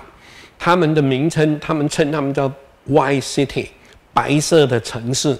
因为所有的房子都漆成白色，为什么？因为赶工来不及，所以在那个时候呢，最后关头，然后快要开幕，建筑师下命，干脆所有房子漆成白色，然后就所以那时候的展场全白哦，就是每栋房子都白，但是每一栋房子的样子都是非常古典的样子，好像他们想要让远方来的欧洲人。然后了解说，我们这一些从本土移民过来的那个美国人，其实我们也是有文化的，我们有的房子的品味就跟你们的古典一样，但是他们不知道，那时候来参观的人，很多人正在苦在苦恼于如何摆脱他们西欧本土的古典，摆脱西欧的传统，就像我们看到那个新艺术的那些艺术家一样。哦，所以那时候里面有一个，我们念建筑史都知道，有一个人叫做鲁斯，他来了美国看博览会，然后就留在美国两年到三年左右，然后他把美国的不不加装修的房子，就是去除装饰性、很朴实的量体朴实的建筑的那一种观念，然后他把它带回去欧洲说。装饰就是罪恶。你没看过很朴素的亮体，都其实也是很美的。你懂我意思啊？所以他们从他们反而从美国里面找到美国人以为自己会失礼的东西，他当他重新当做欧洲摆脱古典约束的一个契机。你懂我意思啊？哦，就是这个，这个是个很很微妙的。那那一些美国人的在那个 Y City 里面，那一些非常古典的新艺术形态的展场，外表都是这样的一个古典的意象，其实它的内部全部都是钢构架，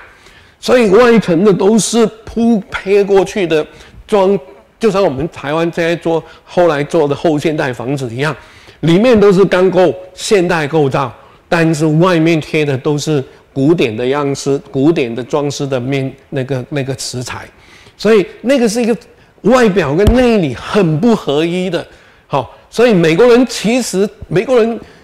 在某种程度是有蛮有趣的，以那一个那一个资本主义的那种那种那种民主制度，他们是算是一种进步，然后这样的技术使用。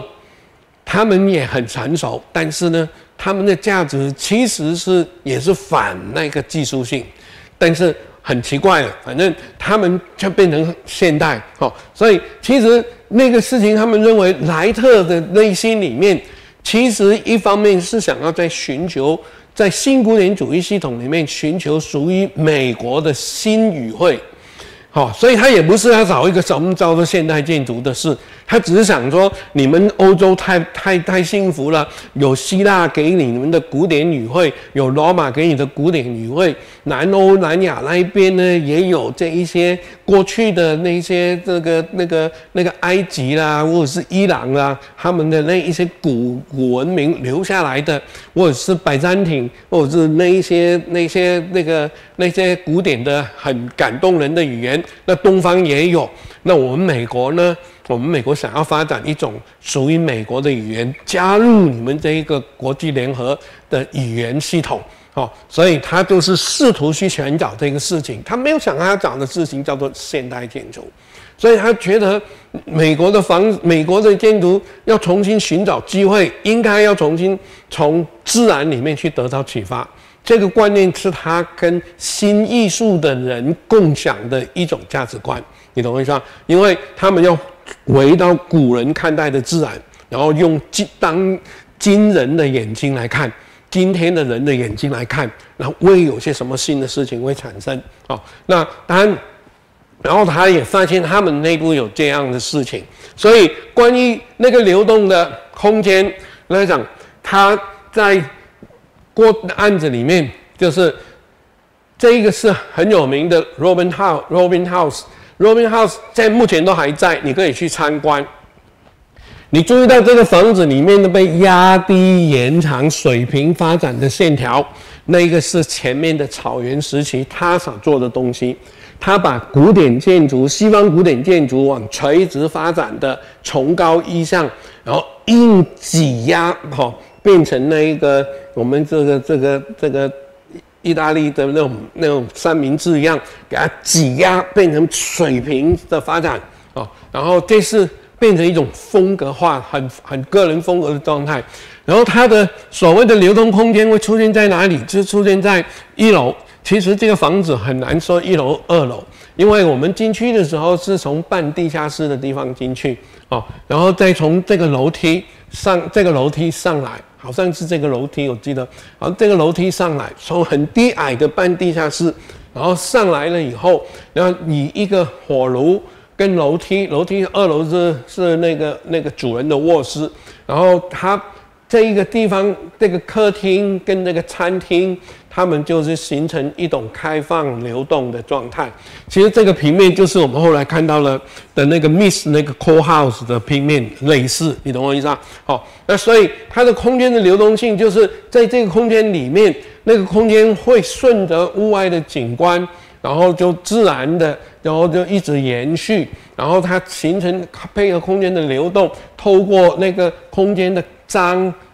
开跟收。然后之间来形成那个段落感，哦，而不是说必须一道门一道门一道门的打开才能够那个那个感受到他们不同的境界的的呈现，哦，那所以这个就是它反映说生活行为跟空间的流动性的一种对等的隐喻性，哦，就是我们的生活里面，我们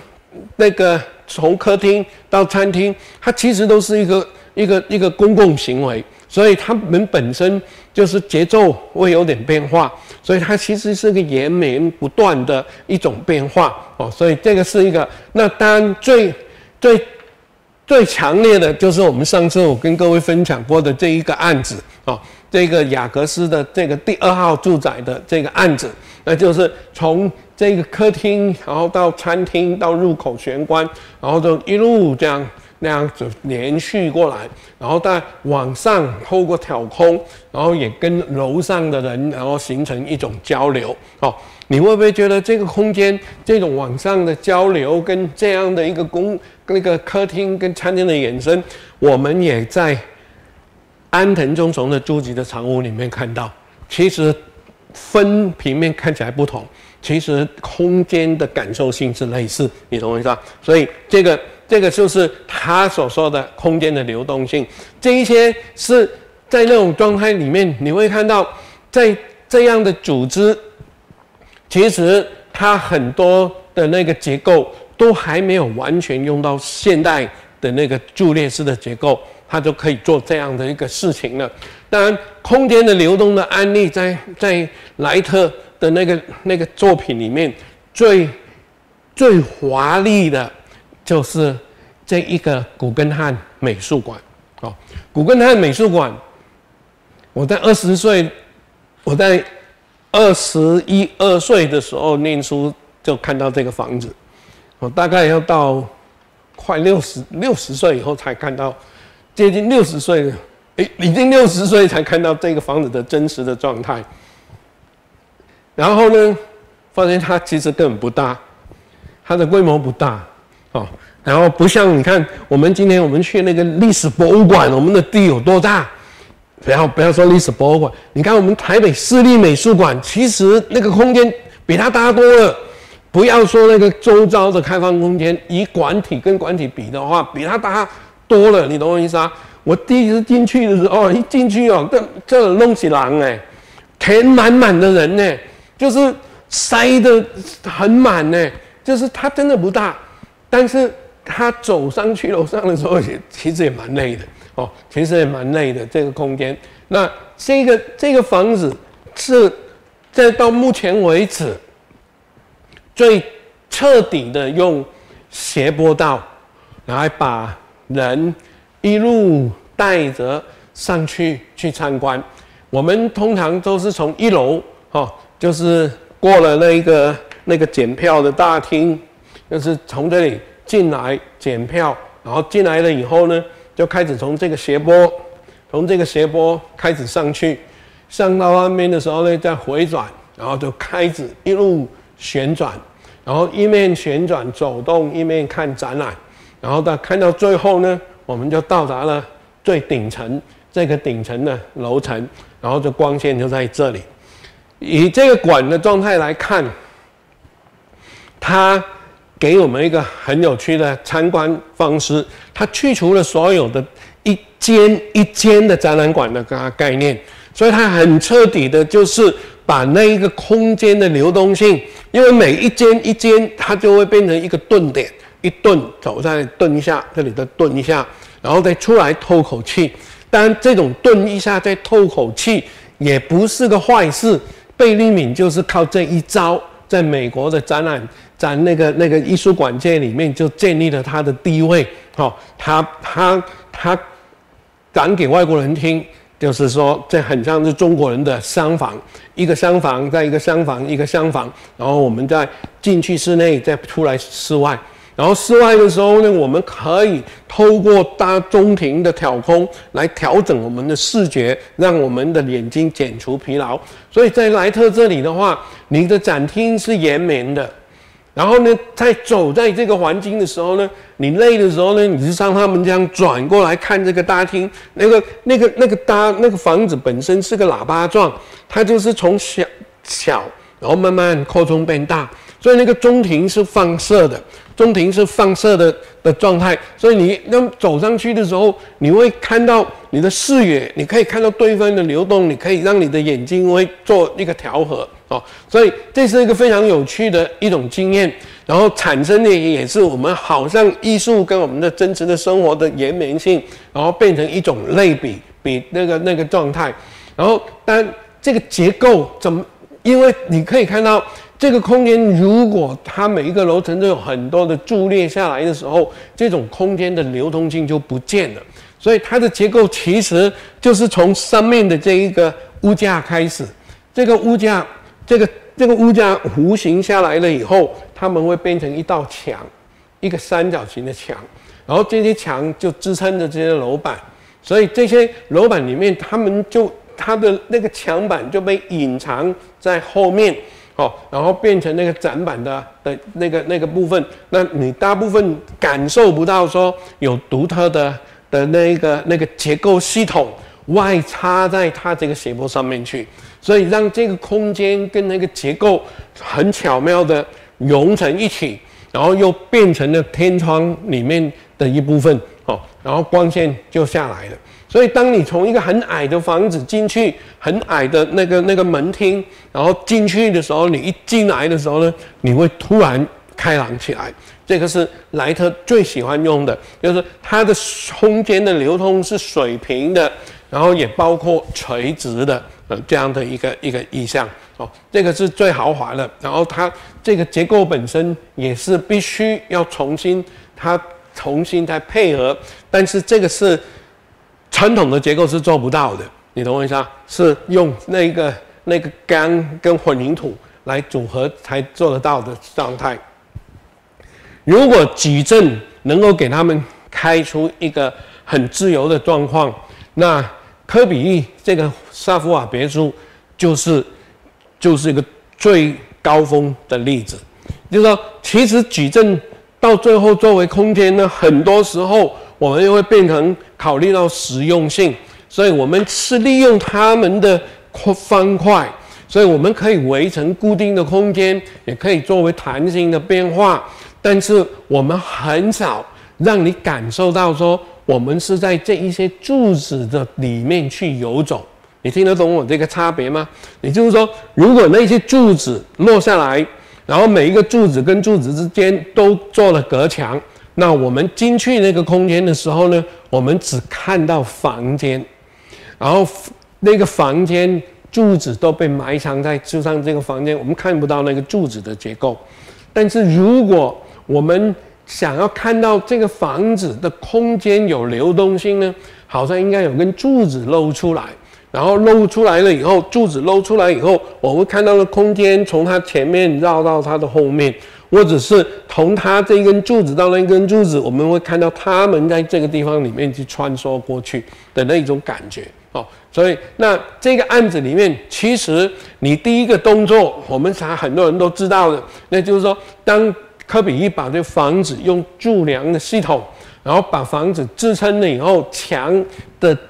支撑结构的作为结构的机能被退化了，它就可以跳出来。所以你会看到这栋房子的边界在这里，但是我们的视线是穿到后面去，穿到侧面去，所以我们的空间可以在这些柱子的柱列上游走，就很像我们在树林里面看到我们的视觉在那个树干上面穿梭游走一样，因为有树的定位，所以那个游的感觉才会被 highlight 出来。你懂我意思啊？所以不是说你绕过去、绕过来，那那那道墙，然后绕过去才发现后面还有个空间，不是这样，而是你的视觉就可以在那边神游哦，就是有那个对比出来，你知道你穿越绕过那个障碍，然后你看到这个窗口，这个窗四个窗口看起来都是一样，然后看起来很平淡，但是这个窗口有玻璃，因为你上去二楼这里是这里是起居室。然后呢，这两个是没玻璃。然后呢，你会看到它是空的。你的视线就像这个照片一样，你到现场会更强烈。你会穿过去看到上后面的天空，然后你会看得到这个斜坡，会让这个平面的空间好像不只是垂水平的这样流过去，还可以垂直的到上面去。然后呢，还视觉直透到天空去。所以它本身充满了想象中的张力，然后那种动感，然后到了这里的时候呢，它好像穿不过去，它会看到顶，然后变成一个暗的，但是它没有玻璃，所以它没有玻璃的反射，然后它在这里你会看到一个比较沉闷的暗，所以四个窗口有三种不同的情境，所以这个建筑呢，它需要做更多。不同的雕塑在上面来暗示着他的表情很丰富吗？他不需要，他已经有这个穿梭过去，很树林中穿梭的的那个那个那种空间流动感，有这一个弯起来底层的这个做入口的这个玻璃那个玻璃罩，然后它变成一个实体。然后在这里也是，它这里是停车哦，所以它有不同的层次波，那个视觉的流通性的波长，然后上面又有不同的波长，然后看到的这里看到树林，这里看到天空，所以它会有很多种层次、不同层次的景象。那这些景象已经足够让这一个立面在你脑里呈现一种，呈现一个叫丰富的。的意象，你懂吗？丰富的感觉，所以这个本身就是这样。而且它很重要的事情是，到进去室内呢，它还有一个很重要的设计。那个设计就是你进去了里面了以后，你你从那个门那个这个地方进入了以后。你从这一个一楼的这个这个门廊，然后你进来了以后呢，你会你就进来以后，你会有一个斜坡，把你带上去楼上。这是在室内的，因为后面这里是停车，这里是停车场，斜斜的停进来。然后呢，这个斜坡道跟斜坡道对比的是一个传统的楼梯，然后传统的楼梯是做成圆弧。所以它是一个雕刻，所以你一进去的时候，你会看到一个曲线往上，这个是空间垂直流通的一种样貌。然后你前方有一个倾斜的地面，所以它是从平慢慢往上走，它也是垂直往上的样貌。但是呢，它是水平延展，它是旋为迂为垂直上的。所以他们在你的视觉脑力里面就有一个垂直，一个水平，但是它彼此都是往上，然后安示的空间本身不是停停挤在这个大厅，而是它有一个流窜的那个力量，流窜的方式有两种风貌，你懂我意思啊？所以它上来了以后，这个地方厉害的事情是，它从这个室内上来转过来了以后呢？从这一滴上来，然后站在这个平台，然后转过来的时候，到了二楼。到了二楼的时候呢，它这一个二楼的这道墙啊，墙外面这个这一道墙，从这里到这里，这里就是屋外，这个屋外就是这里。就是你一到了这个地方的时候，你到了二楼，二楼这个地方的时候呢，你要上继续上去的时候，你是从室内往室外走。所以这条楼梯就在室内，然后室内走到这里来的时候，那个空间就流到室外，流到室外以后，它继续再往上。所以往上有两个层次，一个往上是在室内空间的往上，然后在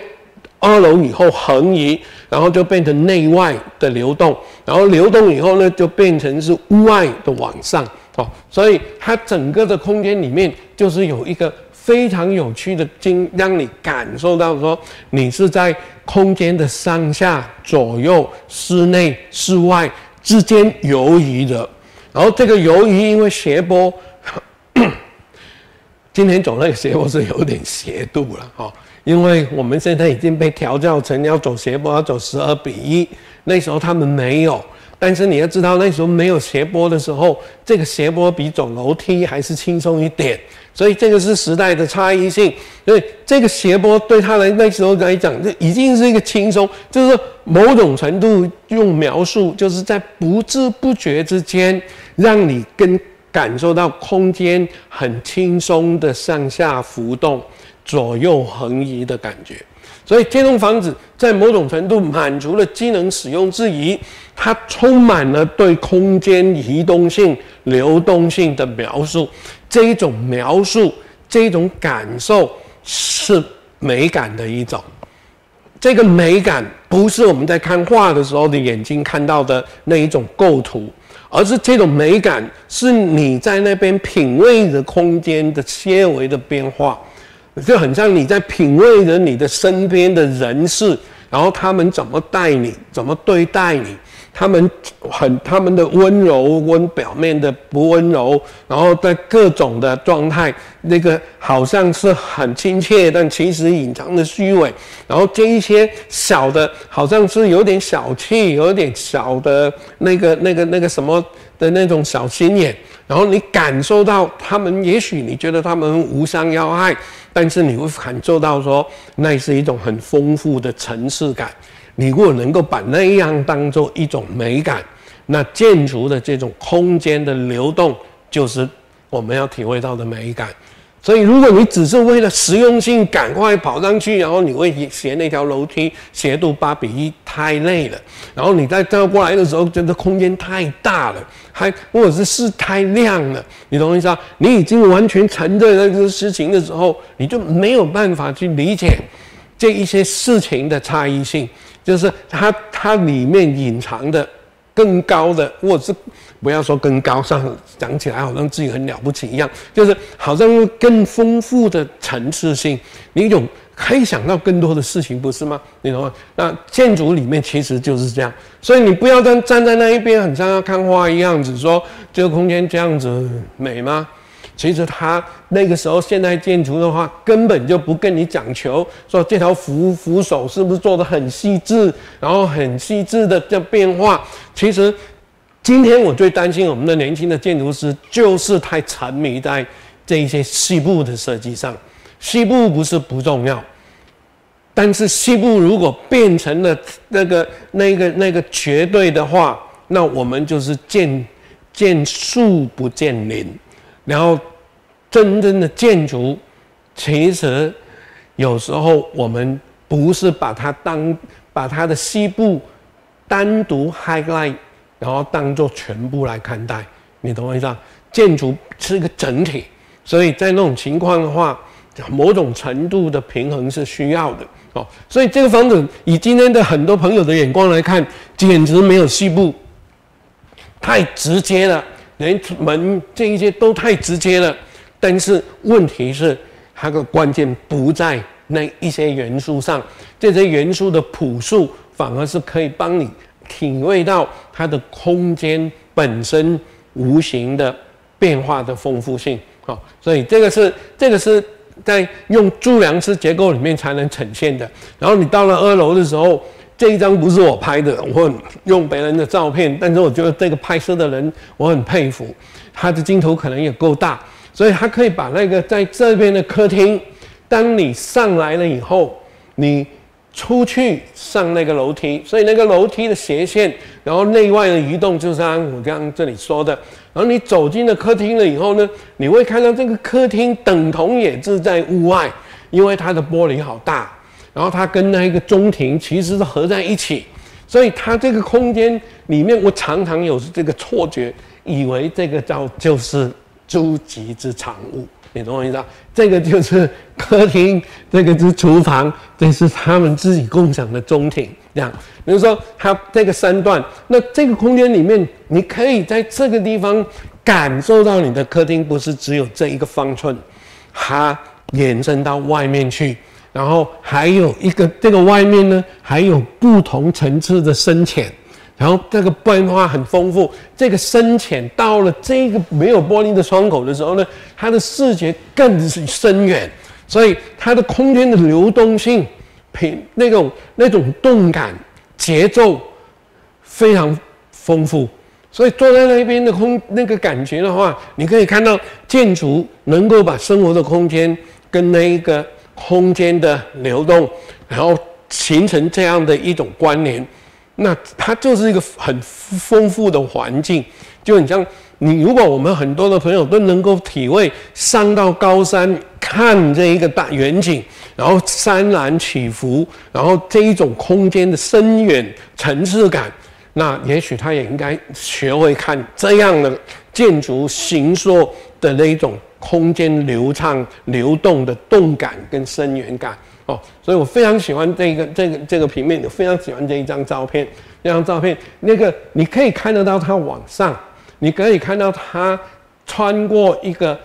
无限高层的空间到一个有压缩的空间，所以它有开有收，然后呢，从这个收的边界，你又可以找到一条缝隙。出逃跑到更遥远的地方哦，然后呢，再下来这里呢，那这个玻璃又让你感受到这道墙后面还是有一个故事的，有有一个不同的事情在后面发生。然后在这一个平台的下方，这里也有一个空隙在这里，所以很多的缝隙，很多的空空空间，然后有很多的可能。如果你愿意，那就是想象中的故事会在那一边发生。所以它很丰富，这个空间里面不是说这些元素都很单调啊，就是斜的楼梯啊，那其实它充满了各种丰富的状态。当然这个也不用讲了。但是如果 miss 的那一个沙福瓦别墅的丰富哈，是充满了情绪的，很很露明的情绪感，让你感受到这哒叮叮叮噔噔噔噔噔噔这样的变化的话，充满了明确的动感。那 Miss 这个就是一个非常老练的人，所谓的理性主义的人，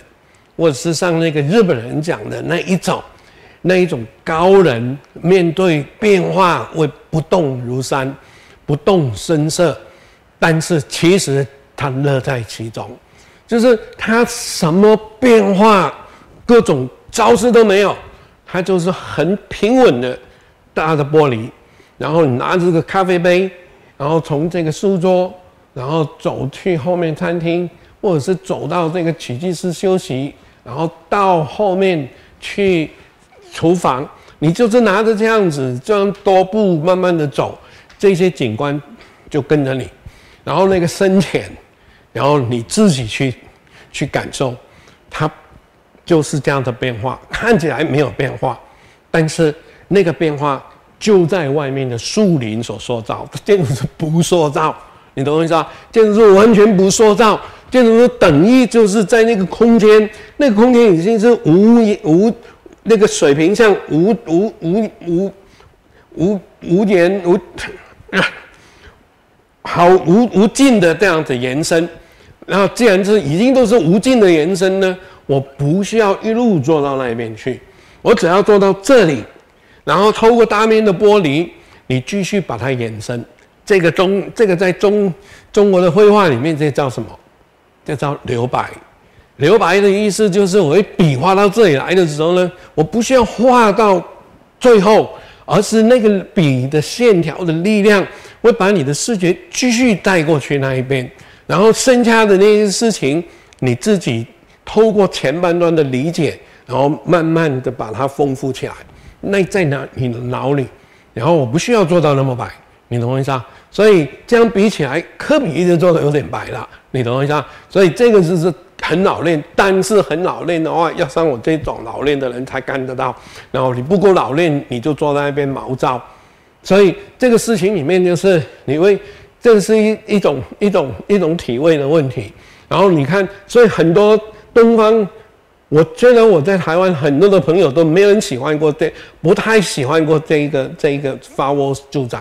我们都是明明褒暗贬，我们真的说建筑师在做什么，什么都不用做啊。如果这建筑师这样这样的话，其实自然那么丰富啊，你还做的是破坏风景啊，其实人家已经很很稳。很沉稳的，很很从容的，用最少的接入，然后来取得最深入的投好投入，你懂我意思啊？说最深的投入，所以这个事情里面就是这种这种空间流动性，但是这种流动性，如果是在古代西方用石头堆砌的房子那样的一个构造是做不到，你懂我意思啊？所以它。也就是你可以把这些柱子、这些玻璃再拿回去看，我们刚刚我在马德里拍的那一个水晶宫，啊，你就会发现那个水晶宫的建筑师真的浪费了一些好材料，因为他已经早就碰触到那个方，那个他超在超过五十年前就已经碰触到 Miss 可以在这里做到的事情，但是他还在留恋着过去的尘埃。然后让那一些事情没有办法很纯粹的被淋漓尽致的发挥出来，那所以这个是一种一种差异，你懂？但是但是这种事情只是讲这种差异，并不是在在责怪古人。其实讲这种差异，真正要责怪的是我们跟我们后面的人，就是如果他们在这样的历史的理解下。看到历史的过往的发展的的那个那个视野的不开阔不是错，是视野的不够不够开阔的话，那我们以后还犯这种错误，那就是我们笨，你懂我意思啊？就是笨不还不足以形容，那叫蠢啊。OK，但其实当那个那个柱梁式结构真正的不是英国人，所以这么淳朴的结构那是美国人。也正只有美国人举高狗的那那样的人，为什么把这个图放在这里？这个这个搞错了，抱歉。我在每次在贴贴来贴去的时候，要重新写那个名称的时候，都都搞错了。这个是在举高狗里面的一个一个一个大楼，所以他们其实最早期他们是唯利所图，因为他们那个时期里面，因为经济发达。所以在那种一在那个二十世纪后那个最后的一个时代，他们经济发达，他们那个土地刚好城市被火烧掉，所以很多的地主都急着要把房子快速盖出来，然后啊提供最宽广的楼面，然后来出租给那一些中小企业来办公。所以在那个时期里面，他们就是有人早在这个同时代的大楼还是用砖造的。砖造，你可以想见，到了楼高十六层楼的时候，他们底层的那一个墙面呢，已经厚达深，已经厚达一公尺多了。你懂我意思啊？所以在那种情形的话，它盖得越高，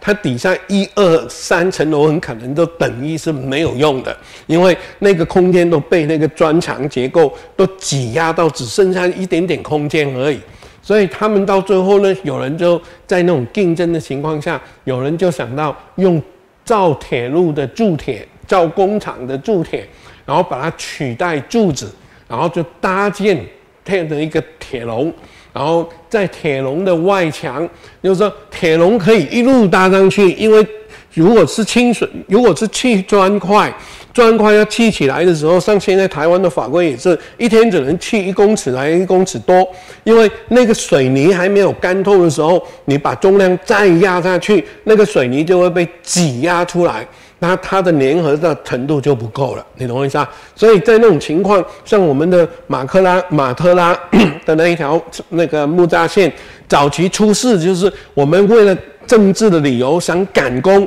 所以当我们的水泥基座，然后倒灌混凝土，倒灌了以后，它还没有到达干透的时效，我们就下令在上面继续铺设铁轨，要增加加设那一个那个厂那个站房，所以它它会让到最后呢，让那个还没有干透的水泥就开始承受重量，然后就开始崩裂，然后就破坏了它的寿命。你同意吗？所以它没，但是用钢呢，它没有这个事情。它就是一组人的啪就砌起来了，然后呢，当它砌起来，这个照片其实呈现的一个有趣的状态。当他还在这边搭铁架的时候，这一边的人已经可以挂他的外墙，不论是砌砖还是预筑的的那个墙面，都已经可以挂上来了。然后你又可以看到第二个有趣的面，那就是说，既然它的它的钢架都可以开出这么大的开孔，我们今天会直接把这里放张玻璃，叫做玻璃帷幕墙大楼。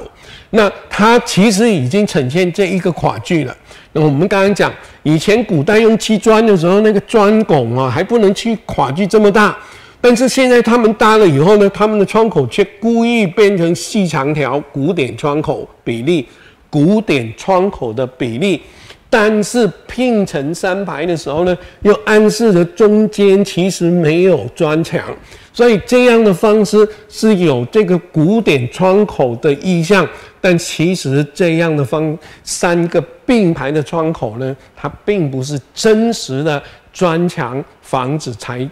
可以做得到的开窗方式啊，所以在那种状态里面，其实它隐藏了一个一个一个错句，这个是故意把那个铁那个铁料做成很粗壮，假装成是一个小柱子，然后暗示着他们皮子是三开间。所以其实你看得到他们身体是一半在古典，一半在现代。哦，那这个是 Chicago，但是这一种方式到了欧洲。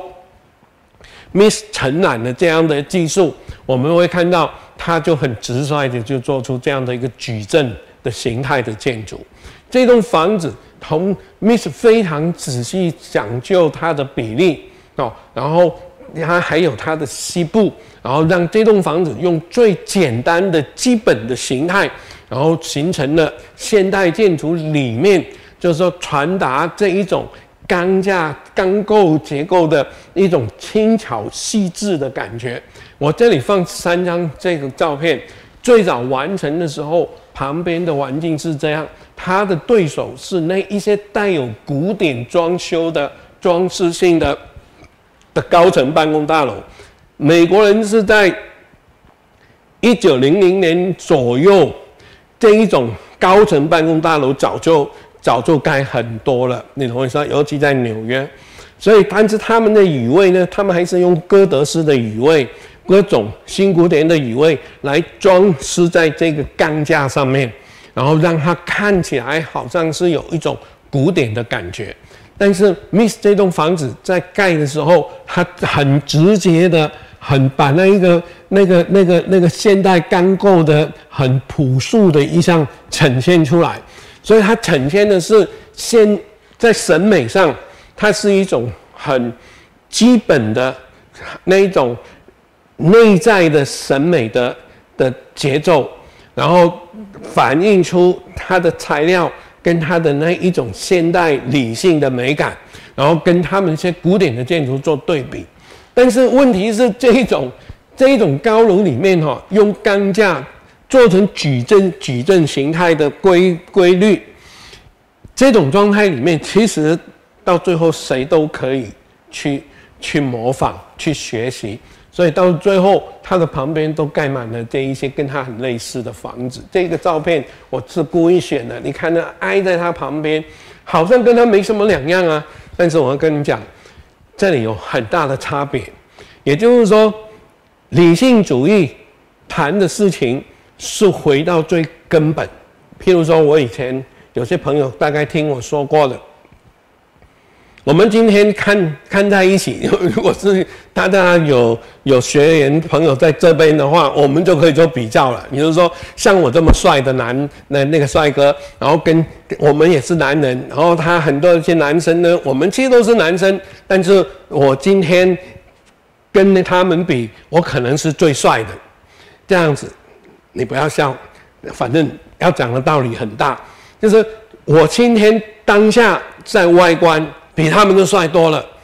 但是我们百年之后，如果我们都站在一起，然后到了不需要到百年，三十年以后，人家把我们翻出来，其实我们都变成白骨，然后那个白骨啊，把我们的外面的肉啊、五官的比例呀，都溶解了以后呢，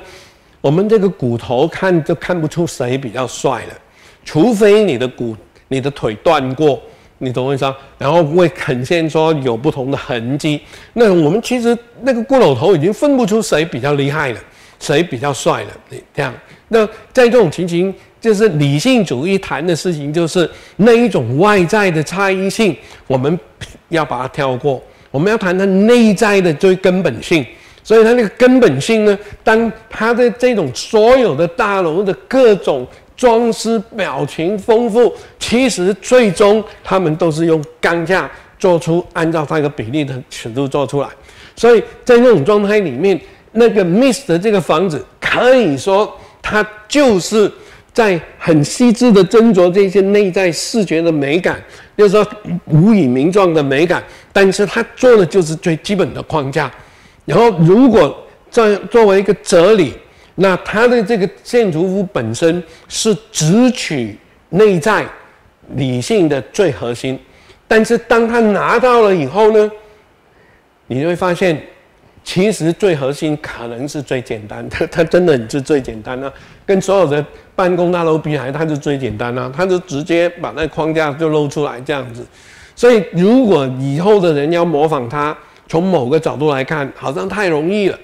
如果要做的比他在感官上更舒服，也更容易了，因为人都这样嘛。有一个有一个前人在你前面，然后你在后面做观察，你就会发现他可能有很多的缺点，然后你只要修一下缺点，跟他一样出场，然后你就会感觉上就比他优越，因为你把他的缺点都取代了。但是在某一个程度、某一个层面上呢，其实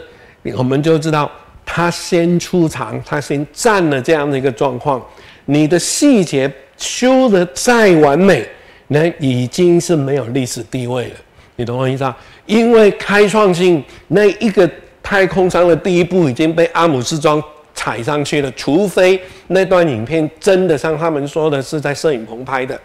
我不相信，我不愿意相信这件事情，因为我当年的作为一个孩童，我也是亲眼在电视看这件事情。你怎么可以让我的历史变成是虚假的？你懂我说？我不愿意承认这件事情。所以他的已经被他拆了，你任何其他人上去的月球都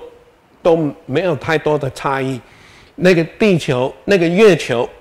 的土地已经是阿姆斯特阿姆斯装的，你懂我意思啊？所以那个原创性的差异就在这里。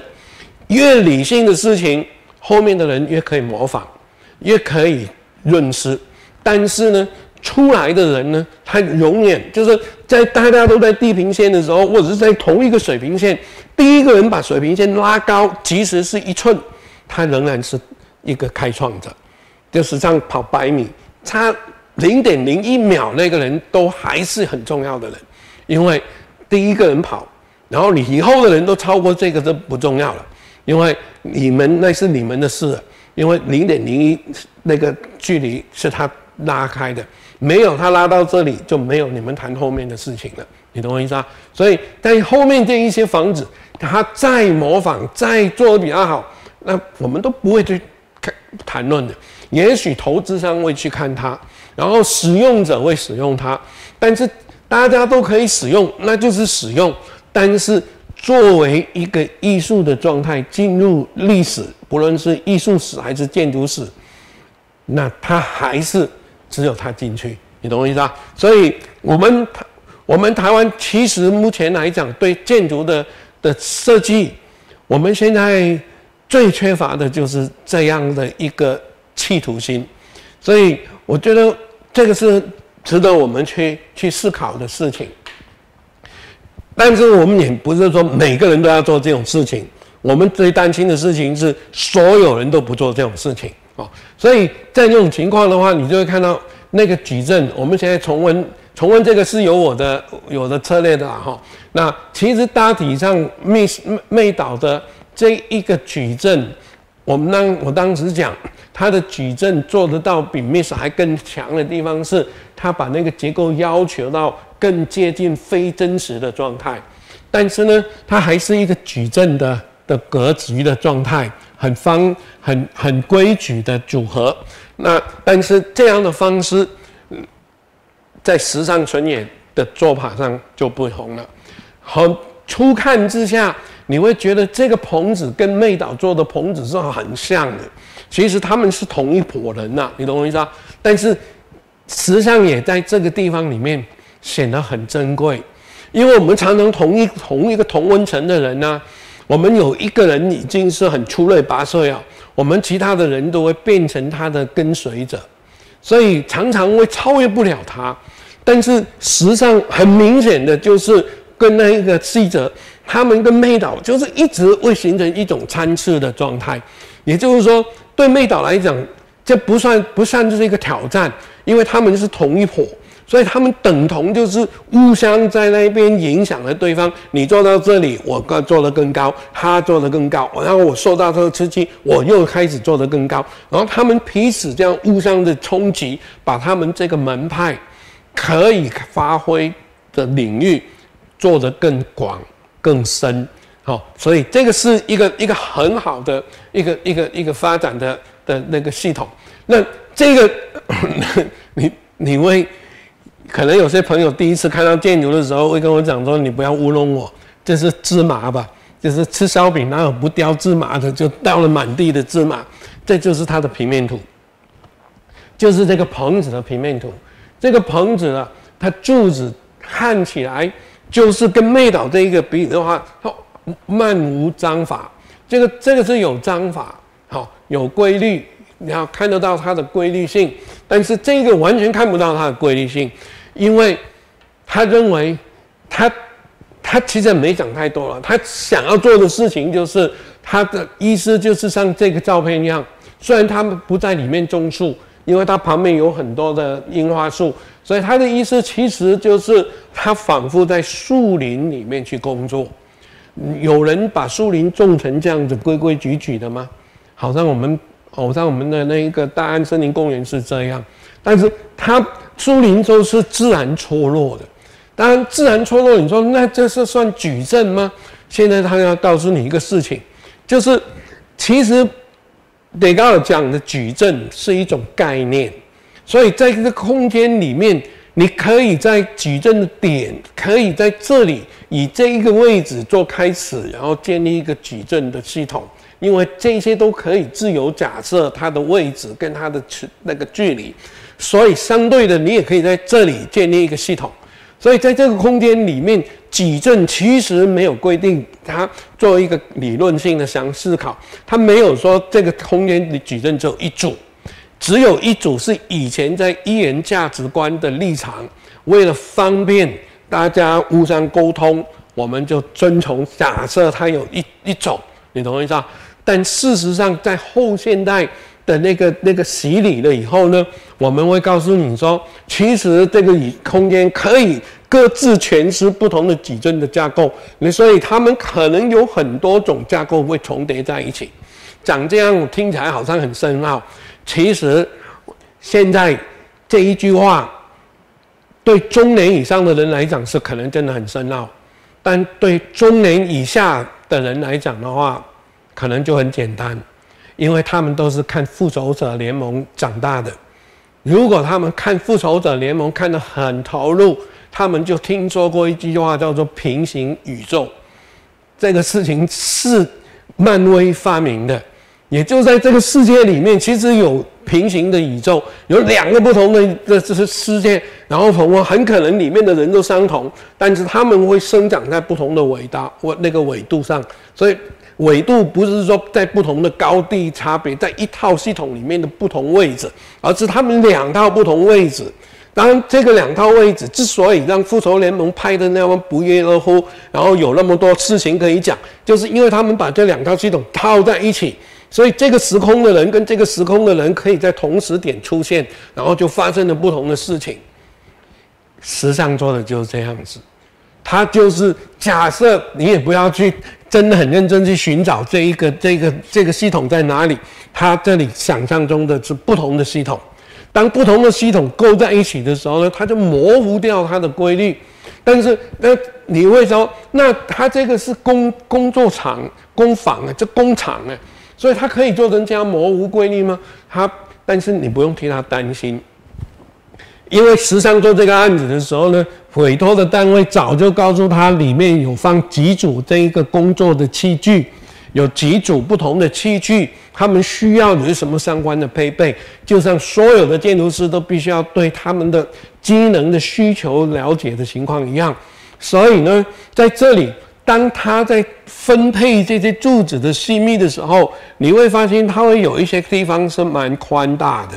有一些地方宽，有一些地方很密集。其实这些宽大虽然看起来不是一个矩形，但是呢，其实那个时尚已经把那一些被规定的家具组都已经放进去了，所以它已经有足够的宽敞。没有那个家具可能是这样的方整的，但是没有人规定它相对配合的空间也必须是方整的。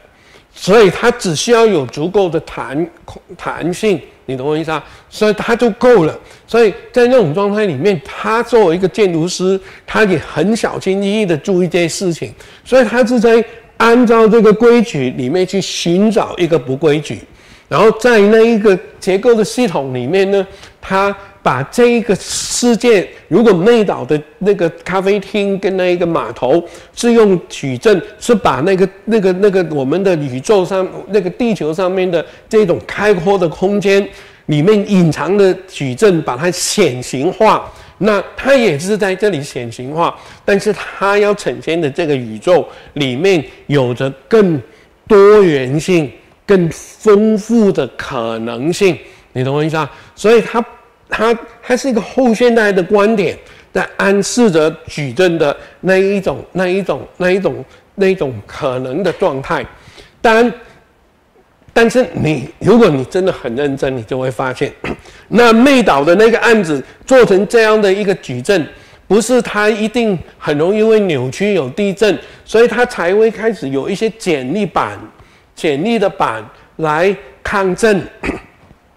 也就是我们上次说过，这个简易板它会破破坏这一些举这个柱子的细的那种矩阵效果，所以妹岛加了那一个镜面不锈钢，然后让它模糊化这个物件的形体，然后用反射来抵消掉它的形体的存在，然后让那个柱裂的那一种感觉能够被延续。那它怎么办呢？他连那个都没有哎。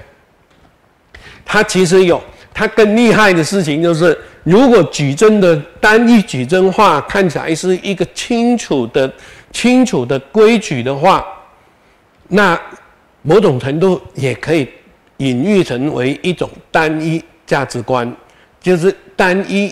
规矩支配整体的状态。现在他已经同意，他是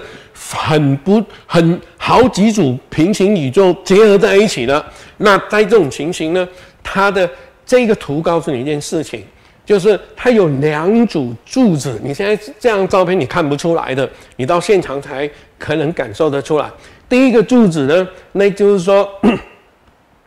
它是圆柱，就是很多的像妹岛那种圆形的、圆形很细的细铁管。然后它有另外一种呢，是长方形的扁铁。所以它不是圆形的断面，它是长方形、长方形的一块金属，哦，所以但是它的宽度也不会太宽，就是不会超过大概大概就是好像最宽十五公分，还是十十公分左右，应该不到十五公分，就是它就是在那个细柱子里面掺杂的同样都白色，然后它的侧面也是细的，但是这一面是宽的，所以你你一个很不止。不注意不注意去看的话，你会分不出它们来。所以他们那一些宽板的钢铁，他们就是扮演着剪力强的角色，因为它被碎化了，所以它也是用散置的方式去摆在上面。所以你会可以常见这一缸的一个结构哈，用人脑是没办法算的。所以他这一套系统其实是结构技师帮他发展了一个。一个新的软体，然后来当他希望这个空间的那个宽跟窄，然后他每一次改设计的时候改他们的位置的时候呢，他重新要支配分配它的柱子的密度跟它那个那个那个剪力板的分配的状态。那后来好像听说了，技师。已经受不了它的变化，变来变去，干脆就告诉他自己怎么去装了。你懂我意思？他自己怎么去算了，就让他算。所以这一套平行系统，我在这个三个图上给各位看的就是第一个，这个就是它最后 final 出来的平面，感觉好像是满脸麻花，但是其实它真正的奥妙，你到现场应该要看它的天花板，它的天花板上面的那一些钢架，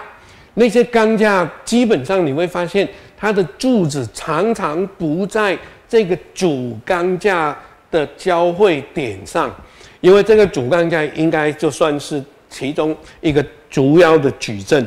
然后呢，它的柱子常常会出现错置在不同的位置，所以它会有一些交错点。你看到的是它们彼此交错，好像应该在这里吧？结果怎么跑到？跑到旁边的这一个这个细的关系上面去，所以它其实它就是从这里你可以读到，好像有不同的的那个那个那个系统，就是平行的系统。然后它在这一组应该交接在这里，但是这一组过来的时候呢，它就交接在这一组的这个交汇点上。所以在这在这一组的交汇点跟这一组来比的时候呢，它它就会错置掉了。你懂我意思啊？所以它的柱子常常就会有些微的跟天花板的框架会形成错置的状态，所以这个就是它的差异性。然后这个图也许可以让你看得出来，其实它是怎么把家具放在它这个像树林般的空间组织里面，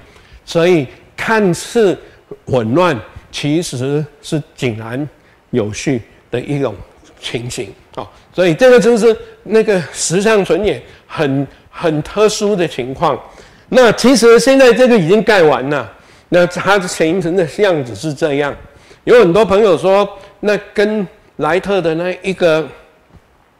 强生蜡像工厂的办那个总那个办公大楼有什么不同？有不同。第一个不同是，它所有这上面的这一些放大的。那个字我不会念，草字头一个坛哦，就是那种香菇头啊，其实它都不是在正圆中心哦，那个那个 那个莱特是在正圆，它是在偏心，然后偏心的时候它是有一个差距，但是很可惜，它这里都是人工光。按照它原来，我一直记得它原来的提案里面呢，其实它的树，它之所以这样做，是因应的外面的树林，所以他的意思就是说，他那个图书馆的阅览师等同人在树林里面去阅读，然后他看到外面的真树，然后他在里面假树，假树的话，它应该有一些不规矩。所以他的这一个事情有些倾斜的交错，来跟他隐喻在一起。我觉得这情景很好，我一直放在脑里。但是不晓得什么时候它改变成全部都垂直，哦，就有点僵硬了这样子。我相信一东应该不会这样想，是结构师建议他这样会比较方便呢，还是我们台湾的使用者会告诉他说，那个这样太不正经了？我们好像应该要严肃一点。那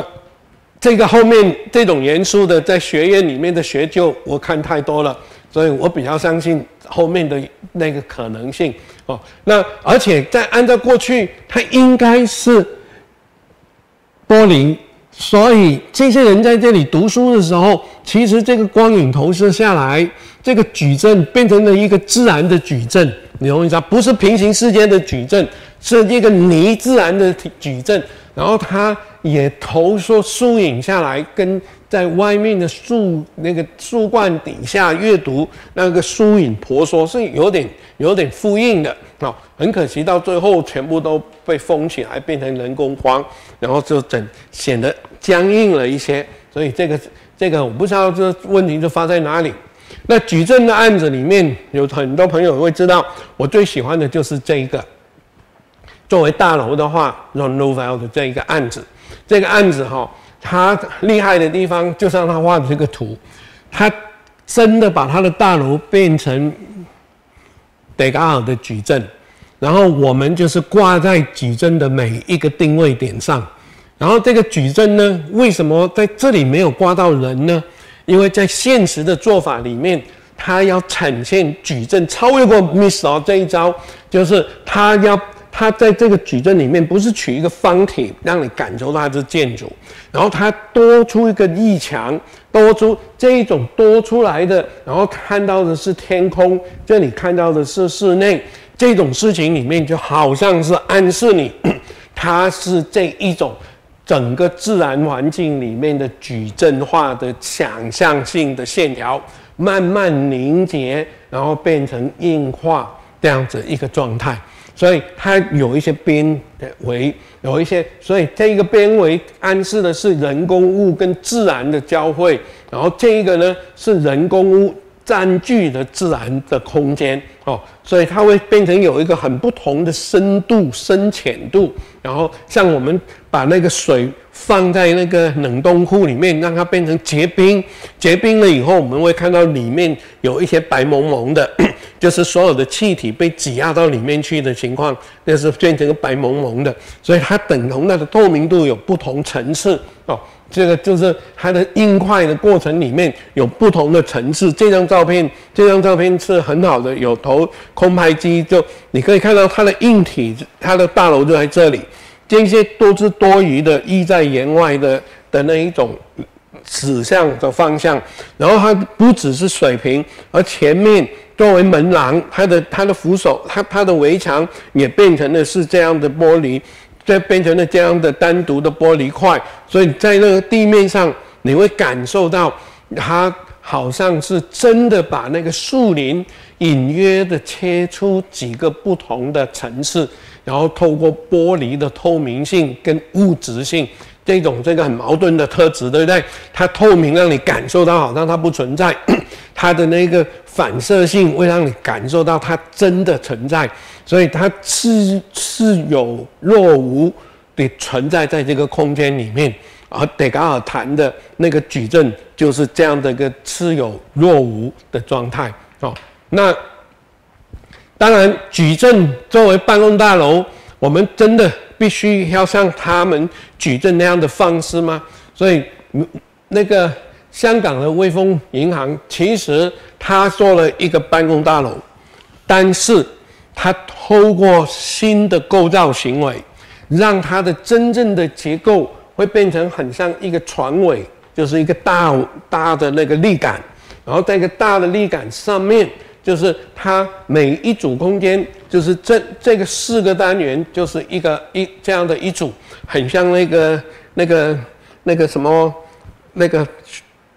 消波块那样子，然后预铸成一个方框，然后到现场的时候呢，就叠叠叠叠叠叠成一个大柱子，然后大柱子呢就用那个 cable 把它吊住吊住他们的梁，然后梁上面再铺钢刨来做成他们的楼板。好，所以这里就会就会形成一组，这里形成一组，然后这两组合起来就形成这一个楼板，然后这个楼板中这些楼板中间，他们必须要有个有个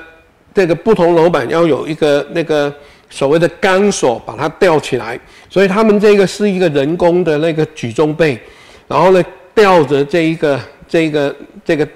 钢缆，钢缆就是。把这一些楼板的中央把它吊起来，哦，所以每一个楼板其实都是在半空中里面去组合起来，这样透过这样的重叠，所以它它并它这种方式呢，又排除了这种矩阵的那个这个组合的架构，它更更超越了那个举高固的那个时代的那一种所谓的空间，所以这个建筑的空间里面，它会变成一个很。单独的一群就是这个背架，然后跟这一个 cable，然后就把它吊了一些楼层，所以整个的房子你读得到它的表情，就反应跟它的结构系统的变化，就形成了相类似的状态。好，当下也在用这一个 cable 的系统，我们在。之前的有谈过这一个，那个这个案子，其实 前阵子有朋友在问我说，想用这个案子来比较 比较魏仁吴今天的那个国力竞技场。虽然这一个馆子在当年一九六四的世运会里面，它并不是所谓的主场馆，它不是因为我们所谓的主场馆通常都是做田径的，然后开幕闭幕用的。那个运动体育场哦，那这个不是，这个是游泳池多用途的比赛场所，所以它并不是开幕用的。但是在六一九六四年的时候呢，其实这个馆等同是整个场馆里面的代表。那他大家就怀疑，为什么之前他做他的自载的时候，仍然带有着这样日本的古典的建筑的语汇？他在做很多的地方上的那一些市政厅，也用着这样的一个混凝土模仿木构造的那个质感。然后为什么到这，他就是说他的现代一直都带着传统走，为什么到了这个六四年这个海馆，突然全部都变成现代？那我想象中的是，当然那个跟六四年的日本的国力正在往上有关，然后。一九六零年代谢论的时候，他们提出了结合工业化的都市改革的的一个策略，所以对工业化进入建筑的推崇，那个时期里面是他们代表着他们对国家力量要宣扬国家力量跟自己国家的力量的一种期待。所以在这个六四年盖这个房子的时候，显然他拼摒弃了所有的传统的做法。当然，运动场里面的坐席是没有办法改变，它还是一个斜坡哈。但是它巧妙的利用它的大屋顶，用这个悬吊的屋那个方式来把它悬吊起来。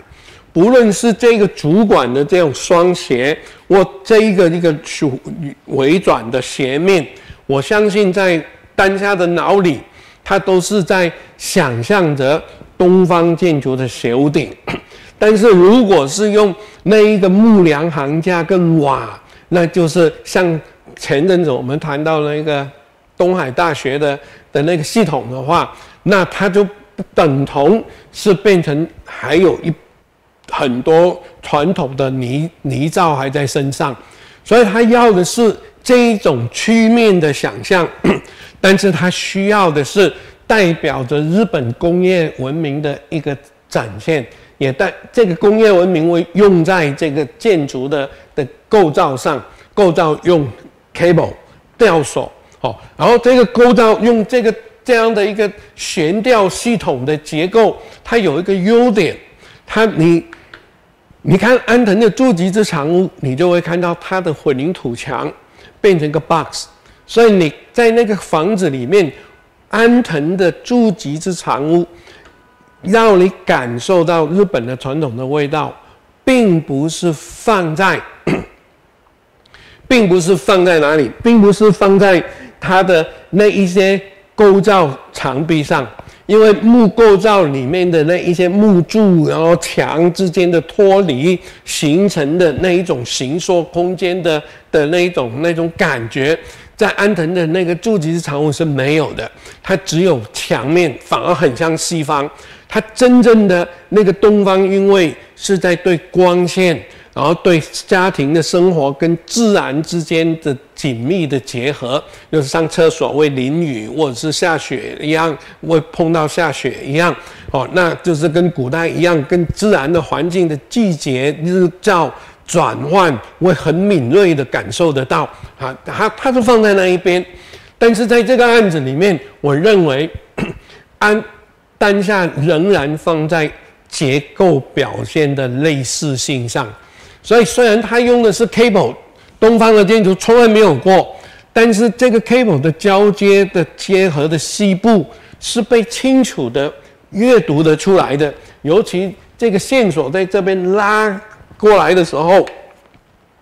你会看到他们的拉的这一些组合的元素的痕迹哦，那一些细部都很像我们在做木构造的时候的屋顶。屋脊，他们彼此之间的那种那个构造行为的的呈现的的状态是类似的，但是我们只能说类似，因为在这个地方里面，它完全是全新的经验，所以这是一个当下，然后当下里面形成的氛围，我就我套用 Rumto 的的措辞的话，那一个氛围，那个气氛，会让我们联想到古典的木构造。里面的元素之间的组合哦，所以包括这一个室内空间里面的这些 cable 的线条，然后跟我们在那个大屋顶上面看到的结构的透明的结构意象，很某种程度我不晓得，但是我认为那一个当下他应该在想这样的一个事情，就是如何跳脱模仿传统来。让你感受到传统，他现在想要跳到更高一点，然后用一个绝对的现代，但是那个绝对的现代里面呢，它隐藏了传统的模糊印象，所以他现在就是他已经从那个自己的自在里面的二分之一的东西，东西方二分之一的东西方开始变成。八分之二的东方跟西方，你懂我意思吗？所以我我自己是这样感觉，所以这些这些角度对我来讲都很有趣。虽然不是我拍的，就是说你可以在这个地方里面去想想，这栋房子根本就是一个大庙，哎，然后里面的屋顶，呃，里面的屋架，然后它有它的产生，它它有它的纹理，这些纹理是类似的。但是产生这些纹理的元素是现代的，所以它会有这样的一个差异性会呈现出来。所以这一个，我觉得这个案子里面很重要的事情就是在这个地方。后面这一些啊，因为我们没办法分段，那我开始开始给各位谈一些构造会产生很有不同空间的的的状态。有些朋友去过这个房子，因为对台湾的朋友来讲。有一段时间，大家对这一个美术馆都很感兴趣啊。这个美术馆其实有一个很，他处理这这个设计的时候，有一个很大的、很大的的动作。第一个动作是在那么丰富的有山有水，后面又是一个高山，然后这个山区这个位置过去曾经是开矿，有缆车下来这个地方，哦，所以如果以一般人在做分析基地的来讲，它有太丰富的天然跟那个人文的元素在这里，所以如果在做设计的时候呢，他们他们都会从这一种。自然元素，然后人文元素里面去寻找这个造型，但是这个建筑师偏偏在这里，他只画了一个四方块，非常正正的四方块，然后就就一个盒子就做完这一个这个美术馆了。然后你看到的，你从那个天空上看过来的时候呢，就是很多朋友都爬到这个山上拍想拍这个角度了哈，但是爬上这里就蛮危险的，就是那。上面这些圆圈呢？这个是这个是这个是谁做的设计？是巧坚尼建巧坚尼生吗？就是画圆圈呢。然后如果你觉得这样兴奋的话，那我也是觉得你很厉害。就是这个跟草间弥生一点关系都没有，而他他建筑师本身他思考这个画家的画作，他认为这个建筑师这个画家本身因为。年轻的时候身体受到伤害，然后变成手足画家，然后他他在那个时期里面，他信仰宗教，然后宗教让他觉得有一种好像是在宗教的氛围。如果宗教当作天地的话，宗教让他感受到这个宗教能够这个天地爱护所有的的这个地球上的万物。然后，即使像他那样子，一个已经全身残废的人，他还是得到很好的眷顾，所以他就开始画画来歌颂着这个天地里面的一些小生物、小环境，然后他们很欣欣向荣的活着的这样的一个状况，就是所以他们的画会呈现一种小人物，然后感恩的心态，然后他这样的一个画就感动了很多人，然后因为。很多人都是小人物嘛，所以在那种情况，就是他鼓鼓励了很多人，觉得他那个即使我们在卑微，还是可以好好的活着的。他因为手足的的残伤残的影响，他的话都不多，都小小的，因为他要歌颂着这个世界给他的恩典，所以他画的都是一些小花小草，然后呈现他的活了，所以他的画呈现的是自然。呈现的是自然里面卑微的存在的这些一些物，那个那个那个植物，然后它本身的话又很小，所以这个建筑师就暗示着，就是在这个设计里面，他就把这一个基地当做，如果如果迪嘎尔把这一个整个的宇宙当做是一个理性的框架所构成。让它辨识到每一个点的高层跟位置哦，就是辨识到它们存在的状态。那这个建筑师他就是把这一个仿佛把这个地球里面暗示的有很多大大小小不同的活动的张力，然后存在这个这个地球上面。无论你想象这叫做空气、空气细胞，或者是人体细胞哦，反正这个空间里面就充满了各种小元素，所以它就是在这个这个平面上呢，它就是按照需求，它提供了很不好几种不同的功能，就是它的办公室，他的办公室的那个那个厕所，然后储藏室。咖啡厅哦，演讲厅，然后跟那个展览空间，然后休息空间，然后按照这样不同的机能，他把它当做是人生百态的各种状况，所以他们就变成了他用圆的那个圆，很像细胞的圆，然后来暗示或者宇宙的圆，来暗示着他们的大跟小或者活动的那个状态，但是他们没有主从，所以他这一个设计设计的概念讲的就是去中心性。所以这个房子里面有很多大大小小的炮，然后就集合在一起。然后这些炮有一个很有趣的地，既然是用圆，所以它的结构不是柱梁式结构，就像这张照片所呈现它建造的时候的状态，它是用钢板，然后再就地做成很像做个汽油桶一样。哦，这些钢板加上了隔热那个内藏的内装材料，大概厚好像大概只有八公分。哦，所以他们因为是钢板，所以他们就变成了是一个用类似墙结构的方式来支撑着他们。然后因为它没有楼层，所以这一些就很像很像我们把那个所有的汽油桶然后绑在一起，然后把它切开，然后就看到很多不同的的圆圈，对不对？然后切完了以后呢？因为你认为这个世界就是延绵不变的，你紫色的这个世界是很多的，所以你现在的这一个这个这个建筑物只不过是其中的一部分，这个世界的隐喻的一部分，那就很像我们在做手术的切片验验做检验体的那个动作一样。那我就采取一个最基本中性的车法，就在这个地方，我们采取一个方块，切出其中一块，放在桌面上。来给你做分析，你懂我意思吗？当我一切开，然后这些细胞都被切开了以后呢，它的平面就会变成这样圆筒。圆筒就是你把那些筒子啊、玻璃瓶啊全部绑在一起，一切就有很多的管口，然后把它们绑在一起以后呢，你它们彼此的结构就等同是一根，它等同就是一根柱子了，它就撑出那个空间。啊，所以在那种情况里面，它只需要空气这个大的跨距的天花板的结构就可以，所以它的墙面里面基本上就是空一个大的圆圈。然后这个圆圈，它参观的时候呢，它需要你从这一个这一个地方，这个地方是入口，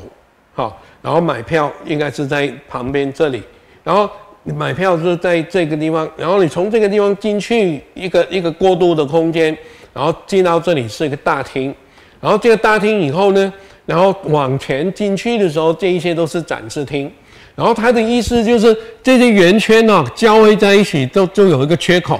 所以在去中心化的过程里面，这个展览的行为，它就会变成了一个可以自由去衍生的发展的游走去参观的过程，就是你不需要像以前那样有一个顺序。因为有顺序，就是有这样的，从这里开始到那边结束。还记得我们上次讲那个妹岛的那一个罗浮宫，哦，它也就是直接就给你当面看到所有的朝代。同时性的看到这个朝代，然后他在这里呢，就给你选择性，你有很大的权利，你没有一定要看完这个再看这个看这个，你可以跑到旁边来，然后就兜回来，然后再回过来，所以反正你随便你走，像迷宫，人生不就是个迷宫吗？你出生的时候干嘛要念这个学校？你干嘛要选这个行业？你干嘛不去当奥运的国手？你就说到了今天，你一直都在那边摸索。你懂我意思啊？所以，如果你的人生一直都是一条直线，那当然这个是很轻，就祝福你。但是你也是很单调、很可怜，因为你很少了很多的横向的经验哦。所以，这个就是他好像在呼应着那个画家，暗示着这个人生的各种的可能性，然后让你自由去去寻找。然后，这个房子所有的圆筒的中间都有这个交缝缝隙，有些缝隙小到。根本就不能进去，大部分都他都也没有准备给你进去，然后他就在墙边这些交汇的弧线的底下，我在照片这里没有给各位看到，他就有一些地方呢，他就开了一些小圆洞，那个小圆洞哦，它就给你哈，你有兴趣的话，有时候光线会小圆洞进来，它有光影效果，有时候你会看到外面这一块无人照顾之地。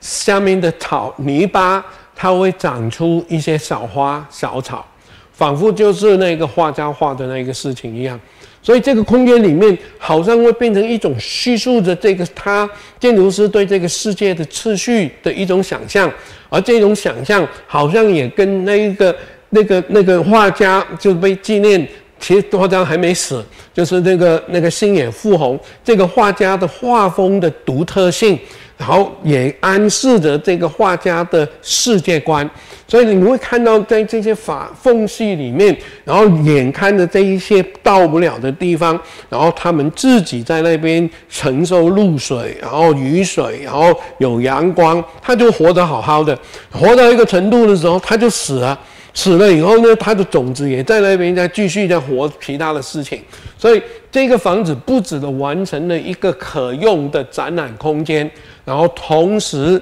也完成了对这那个画家独特性的一种论述的状态。哦，而这一种切方块暗示着这个行为本身的作为一个自然的现象的一个切片一个剪影，我觉得好像跟一东后来在我们台中做的歌剧院有点关联。一东这个歌剧院曾经有朋友批评说。那谈做设计的话，在这个环境里面，为什么它就切成一个长方形，然后就算了，然后对基地呢，所有都没有变化，没有复印？其实这个说法里面是按照教科书说的，按照教科书说，当然有各种不同的状态，它基地里面可以做互相借力使力的情况，但是你要注意，莱特在谈有机建筑的时候，当他进到市区，他的房子全部都是方整的。他的房子绝对没有像我们看到那弧形啊、各种形状的变化，原因是所谓的有机，在他的想法，那就是跟环境融合在一起。所以，当你进城的时候呢，那个城已经被规划成那一个方格纸张的结果，它已经被驯化，然后旁边也同质性的房子都长起来，所以它也形成了一种环境的独特性。就很像那个环境里面都只种草一样。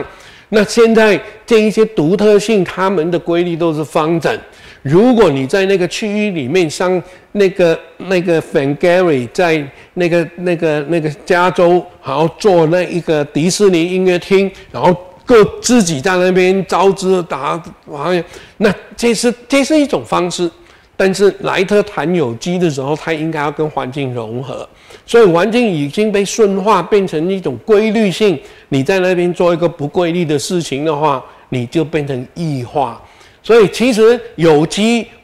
如果你僵化的去理解它，它就是会变成很不规矩的形状。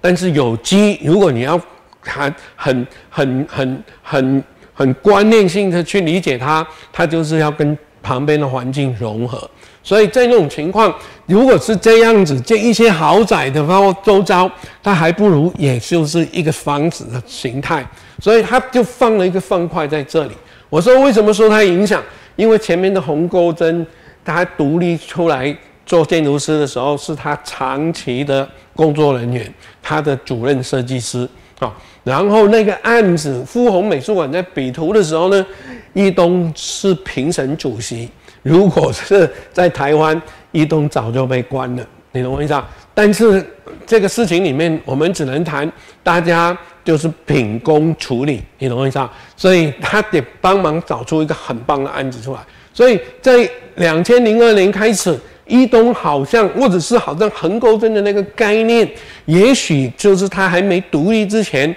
也是在事务所里面跟一东一起讨论讨论过的事情。所以两千零二年的时候，一东已经做了好几个 pavilion，都试图在一个在一个自然环境里面以一个矩形方体，然后来透过方体本身的一个诠释碎化。来暗示着跟周遭环境寻求一种对话的状态哦，所以好像这也算是那个一东的一种策略。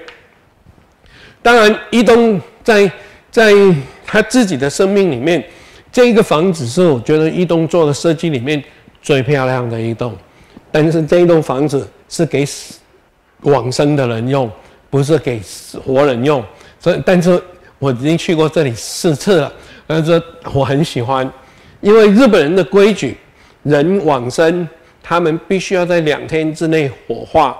然后他们要做的法事都是对着骨灰做的，所以在那种状态呢，他们每一个地区政府都有设立这一个火葬场，这个火葬场是私营的，所以他地方政府营建造的，所以你会不会觉得很羡慕？他们日本的地方政府还可以找到建筑这么这么伟大的建筑师来做这一栋房子，然后这个火葬场还做得这么漂亮。这个火葬场基本上最一栋在这里用的结构是混凝土薄壳的结构。混凝土发展已经超过一百年。其实，在混凝土在二十世纪的二十世纪初，混凝土公司曾经在一家一个展览会上，我今天没有放那个照片，他已经做了一个展场上面，他用混凝土呈现了非常豪迈的曲线翻卷在天空上，就是证明混凝土本身哦有一种能力超越过钢能够做到的自由形缩的形态。当然，这种自由形缩的形态在现代建筑盛行的时期的时候是排挤它的，因为这样的很、很、很、很帅气的自由曲线的变化，感觉是不理性的。现代建筑当时要排挤新古典主义的非理性，就是把建筑变成艺术化，然后把它唯心化。这样的事情当做是建筑的大敌的时候，混凝土可以做这样的一个帅气的表现，它反而变成是一个不理性，所以他们不敢用。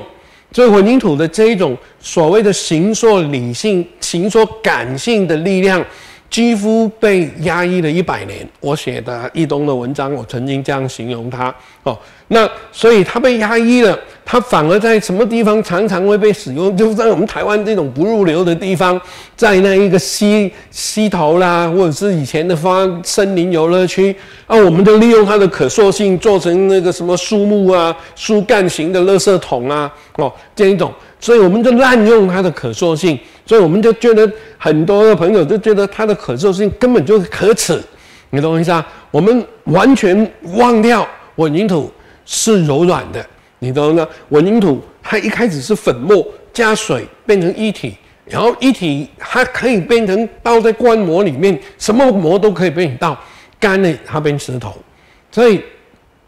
它是它是有这个能耐，铸铁做不到这个事情。X 型钢做不了这个事情，所以它只有混凝土做得出来。所以伊东在两千年完成了他的那一个仙台多媒体那个图书馆，然后他那个时期里面，他不晓得什么原因，可能是因为那个馆要求他谈论的事情，说如何表达未来资讯变成那一种那种资讯化了以后哈，那这个图书馆会变成怎样？其实那个题目在那个馆里面没有得到解答，哦，因为那一个时代大家都不知道，当那一个图书馆的书资料都可以透过讯息传达到终端机，我们根本不需要实体书，那这图书馆还存在吗？或者是图书馆只需要变成是一个大的电脑主机？你懂我意思？就是那建筑师就真的不知道该怎么办。你要你。你一想都知道，它变成个主机，然后你要问我做一个建筑，所以那个案子里面他做了一些动作，那但是算是还蛮有趣的，但是对他来讲，他觉得他应该觉得他解答不了这个事情，但是他他提到一个事情很有趣，就是他发现他跟电脑沟通的时候呢，其实每个人都有过这种经验，当你沉醉在电脑里面的时候，你会发现。你可以在电脑里面跟非常遥远的人沟通，像今天我们不是都跟那个视讯交交流吗？然后你跟很深很遥远的，你可以去那个很遥远的图书馆，然后在那一边那个虚拟去参观。所以你好像根本哈，当你有那个电脑的时候啊，透过那个资讯的流动，你根本就忘掉了现实社会，听起来很千里修，你懂我意思？你好像是只要对着一个 notebook，你就可以忘掉整个世界，然后有一个更美满的世界。然后他就觉得说，好像在这种瞬间，他突然觉得自己的身体好像从那个物体上面消失，然后变成一个柔软的状态，然后就柔软的状态就被电脑吸进去。听起来好像那一个那个神灯啊，那个一样，就是摸摸三四的时候，然后那个嘴壶就就跑出一个那个那个那个那个那个那个那个搭那个那个什么那个法师出来，哦，就是好像是那样很柔软的状态，所以他就觉得从那样的说法，是不是给他很大的感动感激，就是对他的启发。后接下来他。花了很多时间去研究混凝土的流动性，然后所以这个案子比我们的那个那个歌剧院还更早，看起来还比我们歌剧院简单。歌剧院是最高杂、最高复杂度的一个一个状态，因为它拒绝做假，所以它整个的空间都是它的曲线里面去发展出来的。你懂我意思啊？所以他那个时候说，他就是说觉得好像以前的建筑在多媒体，它是用钢钢丝构造，所以好像我可以把这一组东西，然后送到别的地方再重组。好像也可以做做出一个事情出来，建筑好像没有办法变成一个独一无二的状态。他这样讲，好像后来就讲对了，因为我们高雄就出了半套他的那个多媒体那个那个建筑的状态出来，所以他想说，是不是有一种方式的建筑是无可取代，也就是无法复制这样的情况？而在这个过程里面呢，所有的人都不是按照配方锁螺丝。而是他要用他的智慧去参与，比如说这样的弧度，他必须要做他的钢筋的曲线的那个排筋，他们那个那个白金的人，他必须要发挥他的创意。听起来好像要重回到拉斯金讲人，他跟他的工作的关系。所以那个时期里面，他就用混凝土，然后强调混凝土的可塑性来做这个事。那我觉得这个案子哈，它最棒的地方在哪里？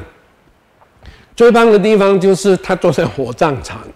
其实它火葬场的上面的空间是这样的一个平摆的空间，然后这一个柱子冒上来延伸变成那个曲线，这些柱子应该就是我们社科院的柱子的前身啊。但是这些柱子呢，它跟社科院不同，它跟前面这边上屋顶的面皮是连在一起的。它的排水沟是直接都落在下面，所以没有排在上面来，所以它就是它就是仿佛在地上长出一些东西，然后就扩张延绵哦，然后就连成一个大体大大的那个量体，然后它们就高低起伏，其高低起伏然后反映内部的空间的变化所需要的环境。那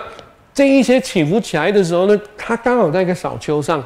所以它其实这起伏看起来好像是个小丘，但是它跟这一个柱支撑的柱干连柱子连在一起的时候呢，又好像是树长大，然后树冠延绵，然后又很像是它的导引看到的，好像是一片云，火化了以后人就变成一片云，你懂我意思啊？然后在山的旁下面有一个山岚，是一片云。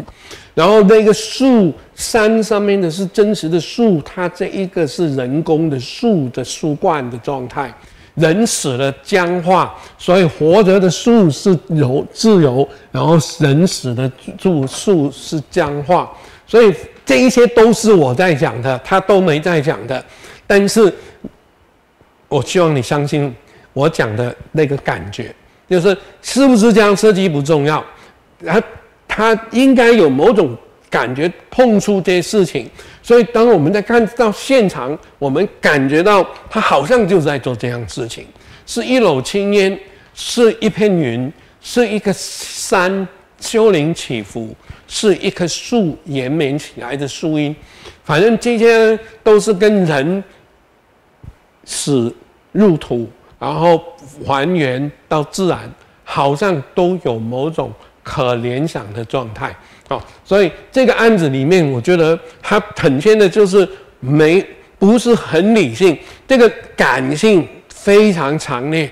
然后它的结构本身也超越了柱梁跟承重墙，然后是让它形成了一种过去没有过的那一种空间经验。所以你这入口你可以看到是这样子，然后那个平面其实很简单。这个平面很简单，它的它的入口在这里，所以你大体进来的时候呢，它会会送客人哈来的时候，哎，入口在这里哦，搞错了，入口在这里，然后进来了以后呢，那个大体哈会从这两个地方穿的，从这里进去。然后在这个进去了以后，在这里做礼拜，这两个圈圈，这个两个房间里面做礼拜，然后管理人员很少，好，他们在这里。然后这一个做礼拜，他们的日本的那个做礼拜的仪式是不准点蜡烛、不点香，然后都没有啊，所以他们是很安静、很理性的。在这里做完礼拜了以后，推进来这里是个大厅，这个大厅是不是就是这里？就是推进来就是这个是门厅，然后这一个照片里面就是这个大厅，他们会在就是这一个地方进来，从这个地方。哦，这两间房间就是做礼拜、做告别式的。然后做完了告别式以后，他们推出来了以后呢，在这个大厅哈前面这一些密集的开口，这开口就是火化炉，就是火就这些密集的，就是火炉哦。所以他们上面那张照片就是从这里出来，然后呢就进入这个火火化炉。火化炉的机器是在它上面，然后烟是从旁边水平打出去，所以没有垂直的烟。他们，我们问过他们那个那个管方的人，他说他们的烟就是在里面室内用水平向的发展，然后让它的烟在排到屋外之前都已经慢慢被沉淀、沉淀、沉淀，所以他们就出去的烟很少。啊，所以他们在这里做完火化了以后呢，他们再送回来，然后就送回来这一个从这个地方进来，就是他们那个推车推到这里来，推到这里来的时候，家属就在这里捡捡那个骨灰，啊，就是做礼拜，然后从这里再重新出去，所以就从这里进，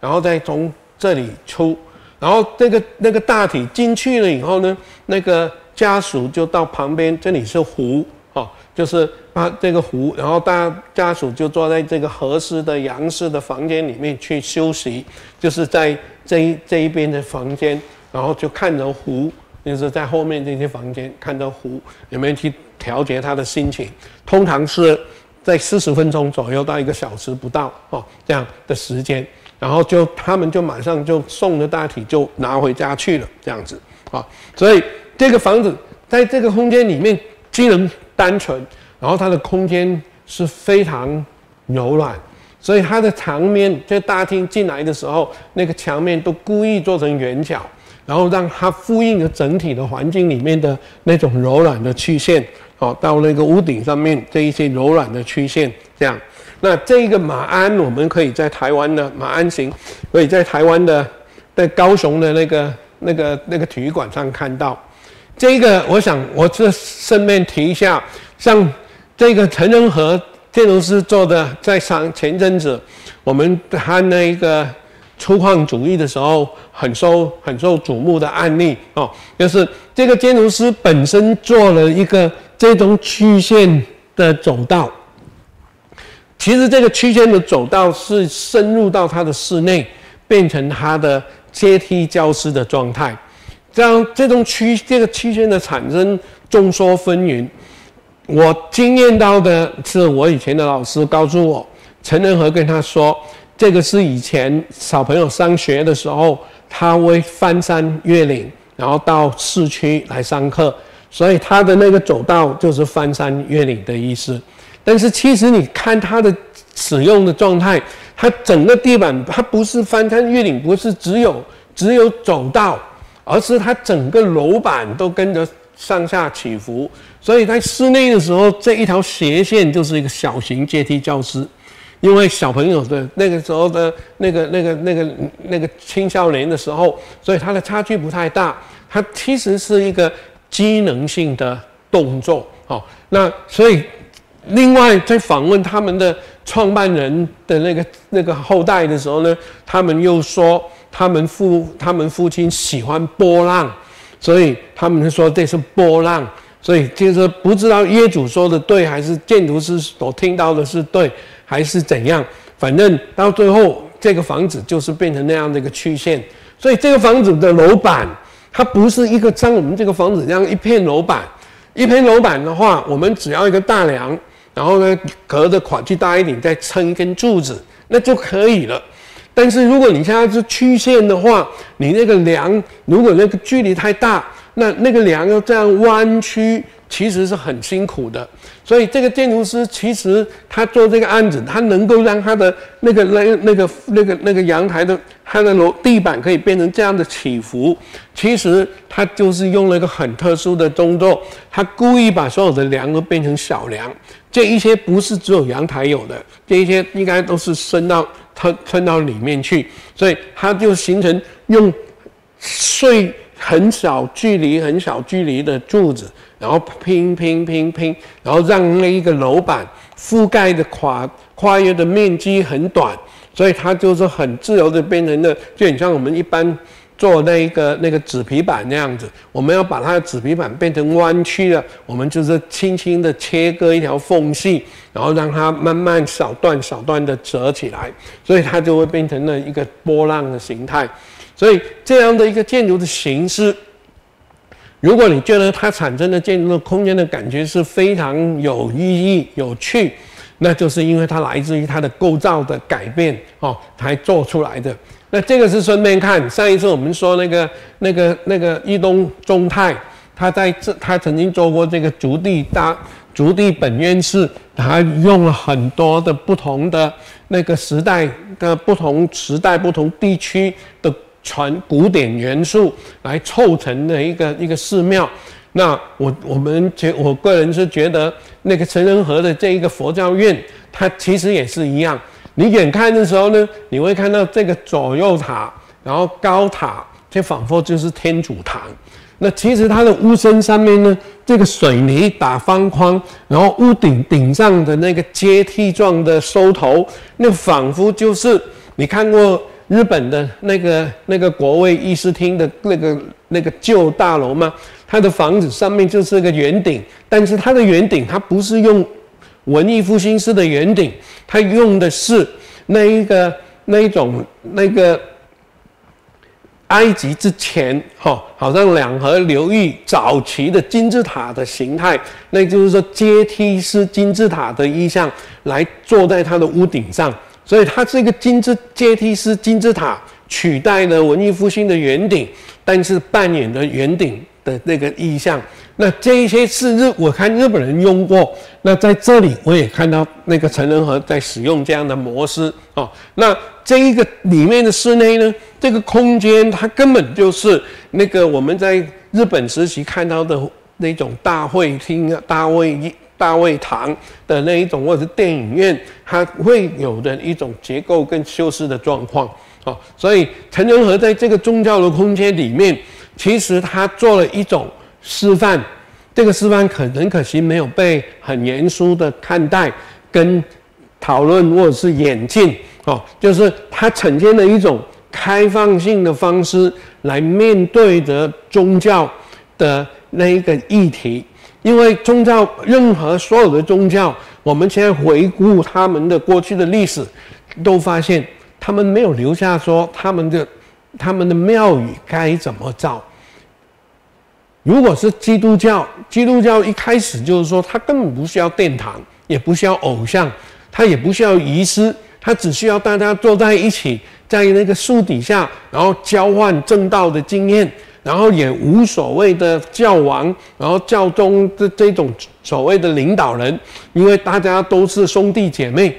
所以但是后来他们慢慢就变成了这么有制度的一种状态，然后也形成了所谓的教堂格局哦，所以这些都是后面的人加上来的。所以如果是宗教是一种很独特的品质 quality，那它应该有很多种可能性。就去呈现。如果这个事情，其实中国人已经做了一个示范了。如果是印度时期只盖佛塔，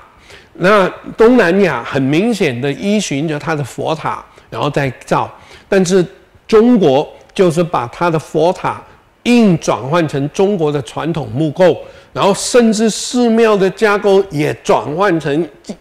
渊落的形态。然后，所以这个事情里面，中国本土的寺庙。再古老都跟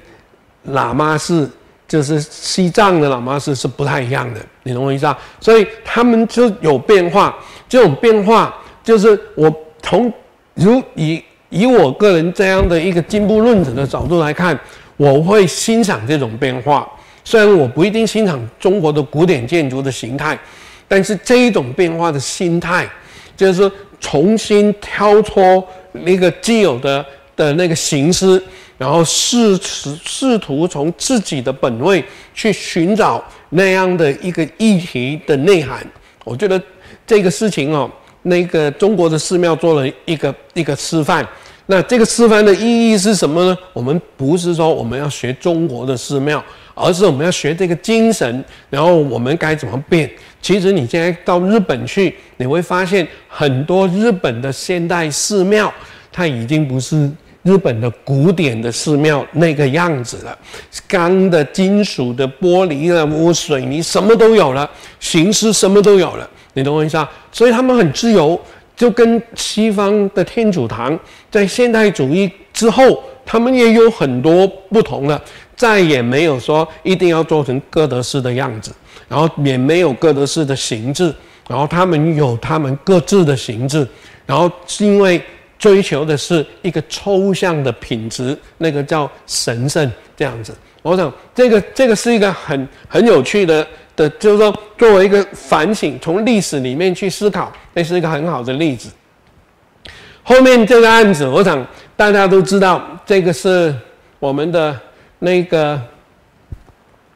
那个魏武营的音乐厅。我我很难，我竟然找不到专业的平面图，哎，所以这一个平面图其实是是那一个，这个平面图是那个示意图。因为其实我们大部分的人呢，真正需要知道这栋房子的平面是在里面这一个空间，就是在三个厅之间，我们在那一边喝到咖啡，在哪一边看到一个光景，然后从哪里走一个长长的隧道，看到他们展览他们的这一些建造过程的的那个那个那那一个那个那个记录哦，那。这一些我们在那边走过的一个很丰富的空间变化，其实我找不到一个专业的平面图来看到这一层，我反而看到这一个。所以其实这个是非常庞大的房子，它连接了三个厅，所以这个房子以过去的结构来看，它完全没有办法去去去建立，因为用柱梁式的结构，你根本没有办法做出这样的自由的状态。所以这个房子，我在这里给各位看的一个很重要的事情，就是其实这种房子相对的在观念上，而不在不是在视作上，视作上困难的不得了，因为他们的自由曲线你要抓得很呢，它的变化不是只有二向度，而是三向度的变化哦，所以这个是非常困难的。不过还好有电脑，但是它的概念呢，其实就是做个铁笼子。所以这一个这个这个铁是在这个铁是在示意他们的尖叫的时候的状态。这个位置在哪里啊？这个位置就是这一个角落，这个角落跟这个角落，这个角落应该就是在这一边这个角落。哦，所以其实它里面到今天都还是这样的钢架，然后在上面的一个一个网格，整个的网格。那这个案子要说明这个案子。我讲，我用后面的那个案子比较多的资料，你可以看得到这个事情。这也是今天最后一个案子，因为最后的案子比较接近最现代的的构造的形态。这个房子已经不是很新了，这个是二零一三，我没想到它有那么早期了。哈，就是这个是哈，在阿塞拜然，阿塞拜然离我们好远的地方。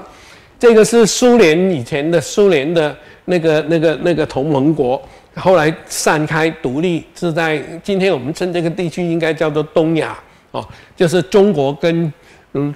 俄罗斯中间吧，应该是在那个那个叫阿塞拜然，他们在这个地方里面做这个，这个是个音乐厅，也跟我们的那个那个魏武营的类似哦，他整个形式就很像一块布幔。然后，当然布幔很难，不一定能够折成这样，有好复杂的的那个皱褶跟形体。我们曾经有些建筑系的，花了很长的时间，然后学生哦都在给我们看布幔，然后就说布幔真的真的哇，你看这个这空间很漂亮啊，怎样怎样。但是呢，到最后呢，我们都发现这一些用布幔折来折去的学生的作品里面没有空间，然后呢，也不知道该如何构筑起来，所以到最后就变成了一种装置艺术或者是一个艺术的状态。但是这个布幔又不能够平保留永久，所以他们也就变成昙花一现哦，就是这样的。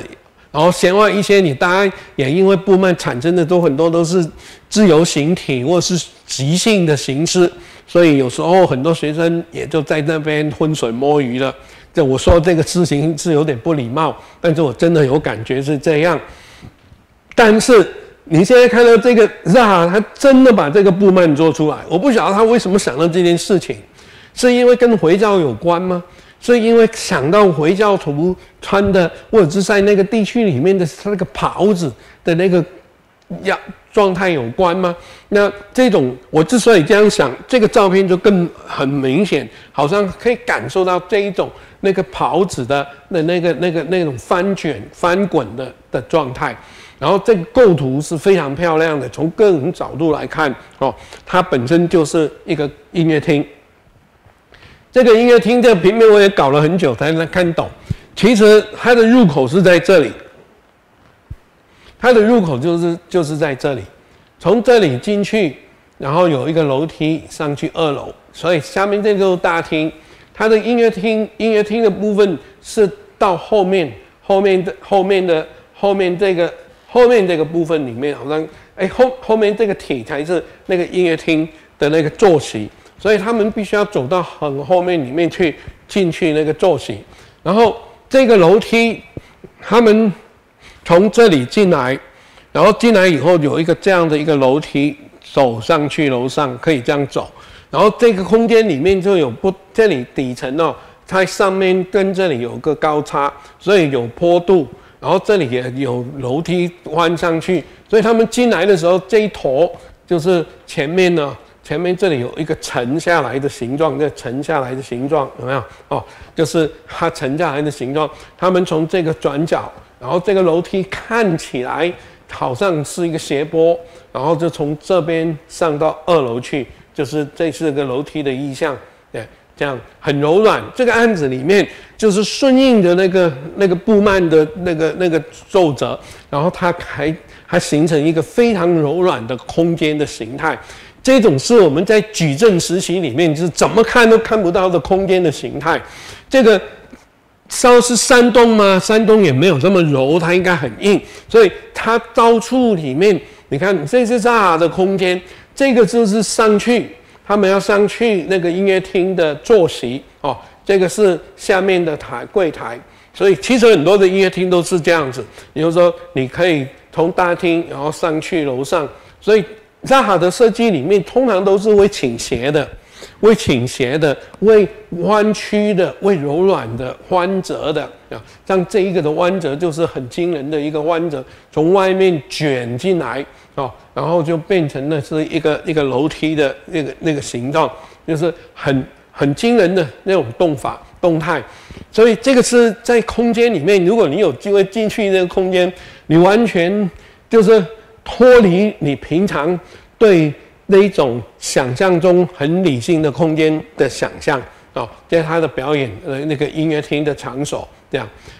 然后其实这个案子里面楼板的部分还是用混凝土，然后来支撑，外面的柔软的部分其实就是用像我们那个那个魏武营一样，透过那个网络。的好像一张网一样，但是这张网其实它的它非常厚，非常厚实哦。然后就是它反复的覆盖在它的那个建筑的空间上，然后就像那个披个布幔一样，它真的很像一个布幔那样子，然后挂在它的那个那个上头，然后形成一个新的曲线，就是先后。这个世界到现代进入到，从现代进入到后现代以后，我们开始重新体会到说，新古典主义的时期里面过度强调感性，然后这个感性又参加了一个所谓的权力的那一种浮夸在上面，所以让那个感性变成好像一种有毒素的状态一样。但是后现代让我们重新感觉到说，原来那个理性绝对的理性是需要的，但是那个理性没有必要那么干燥。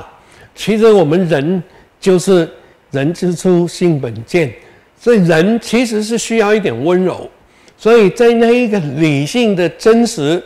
我们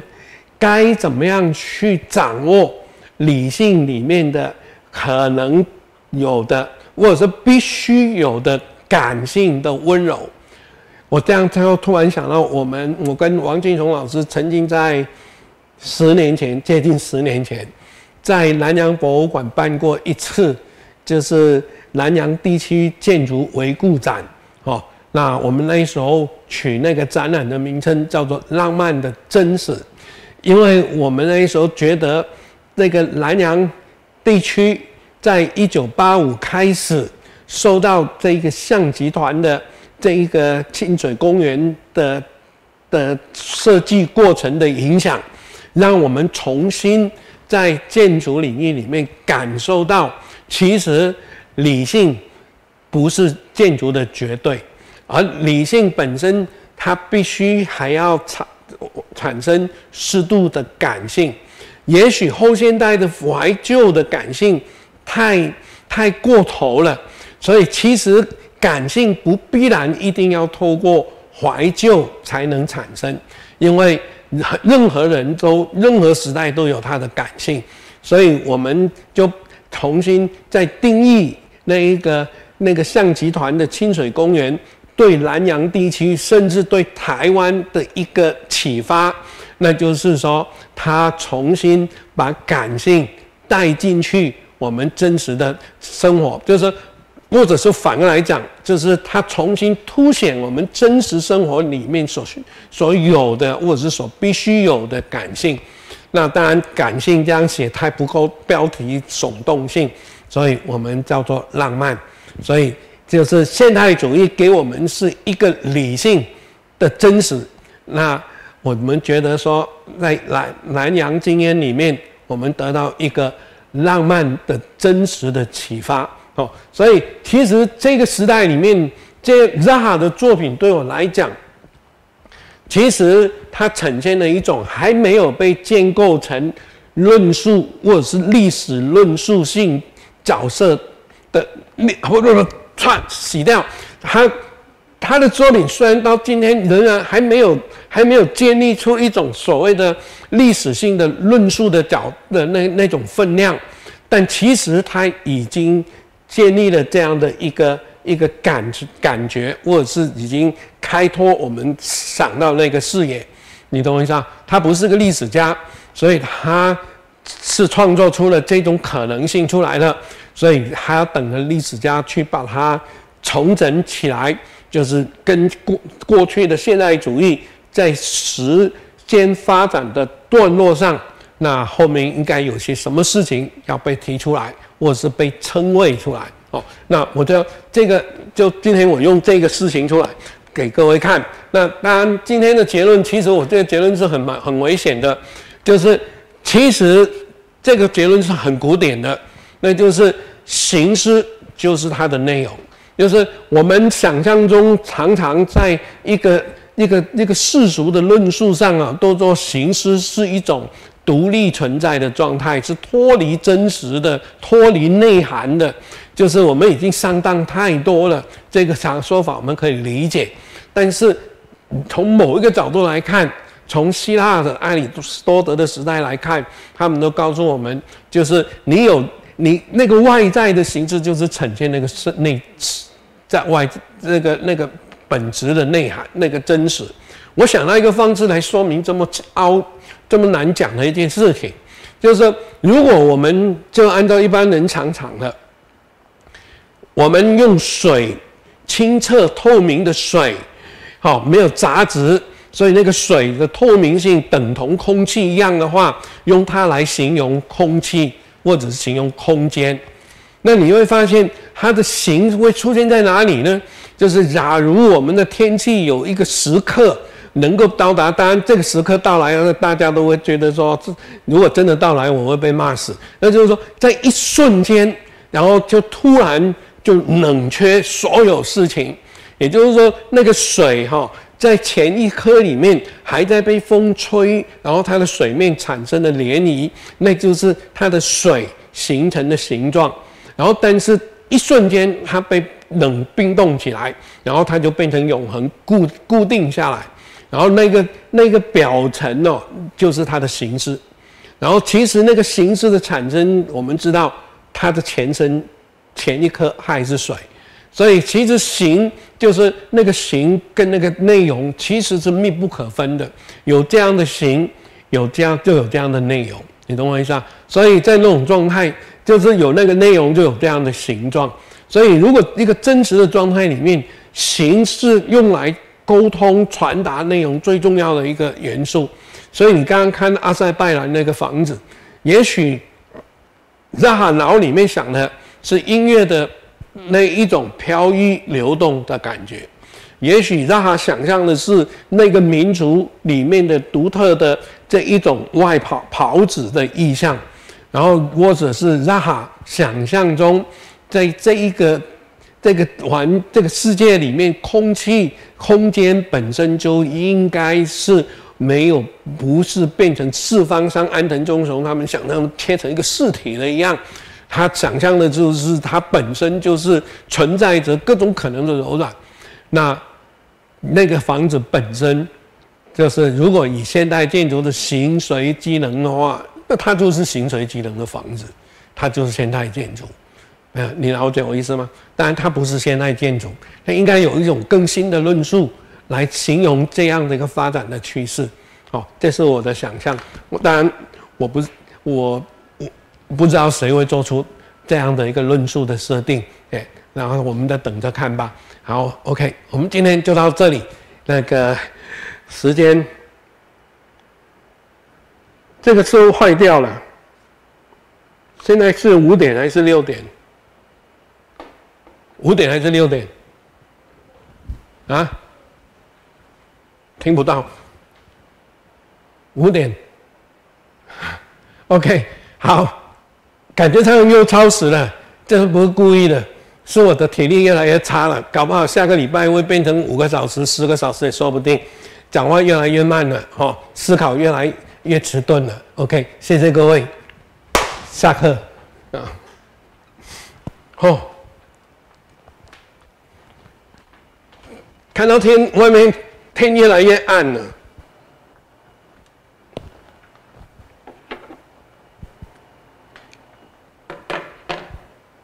刚好。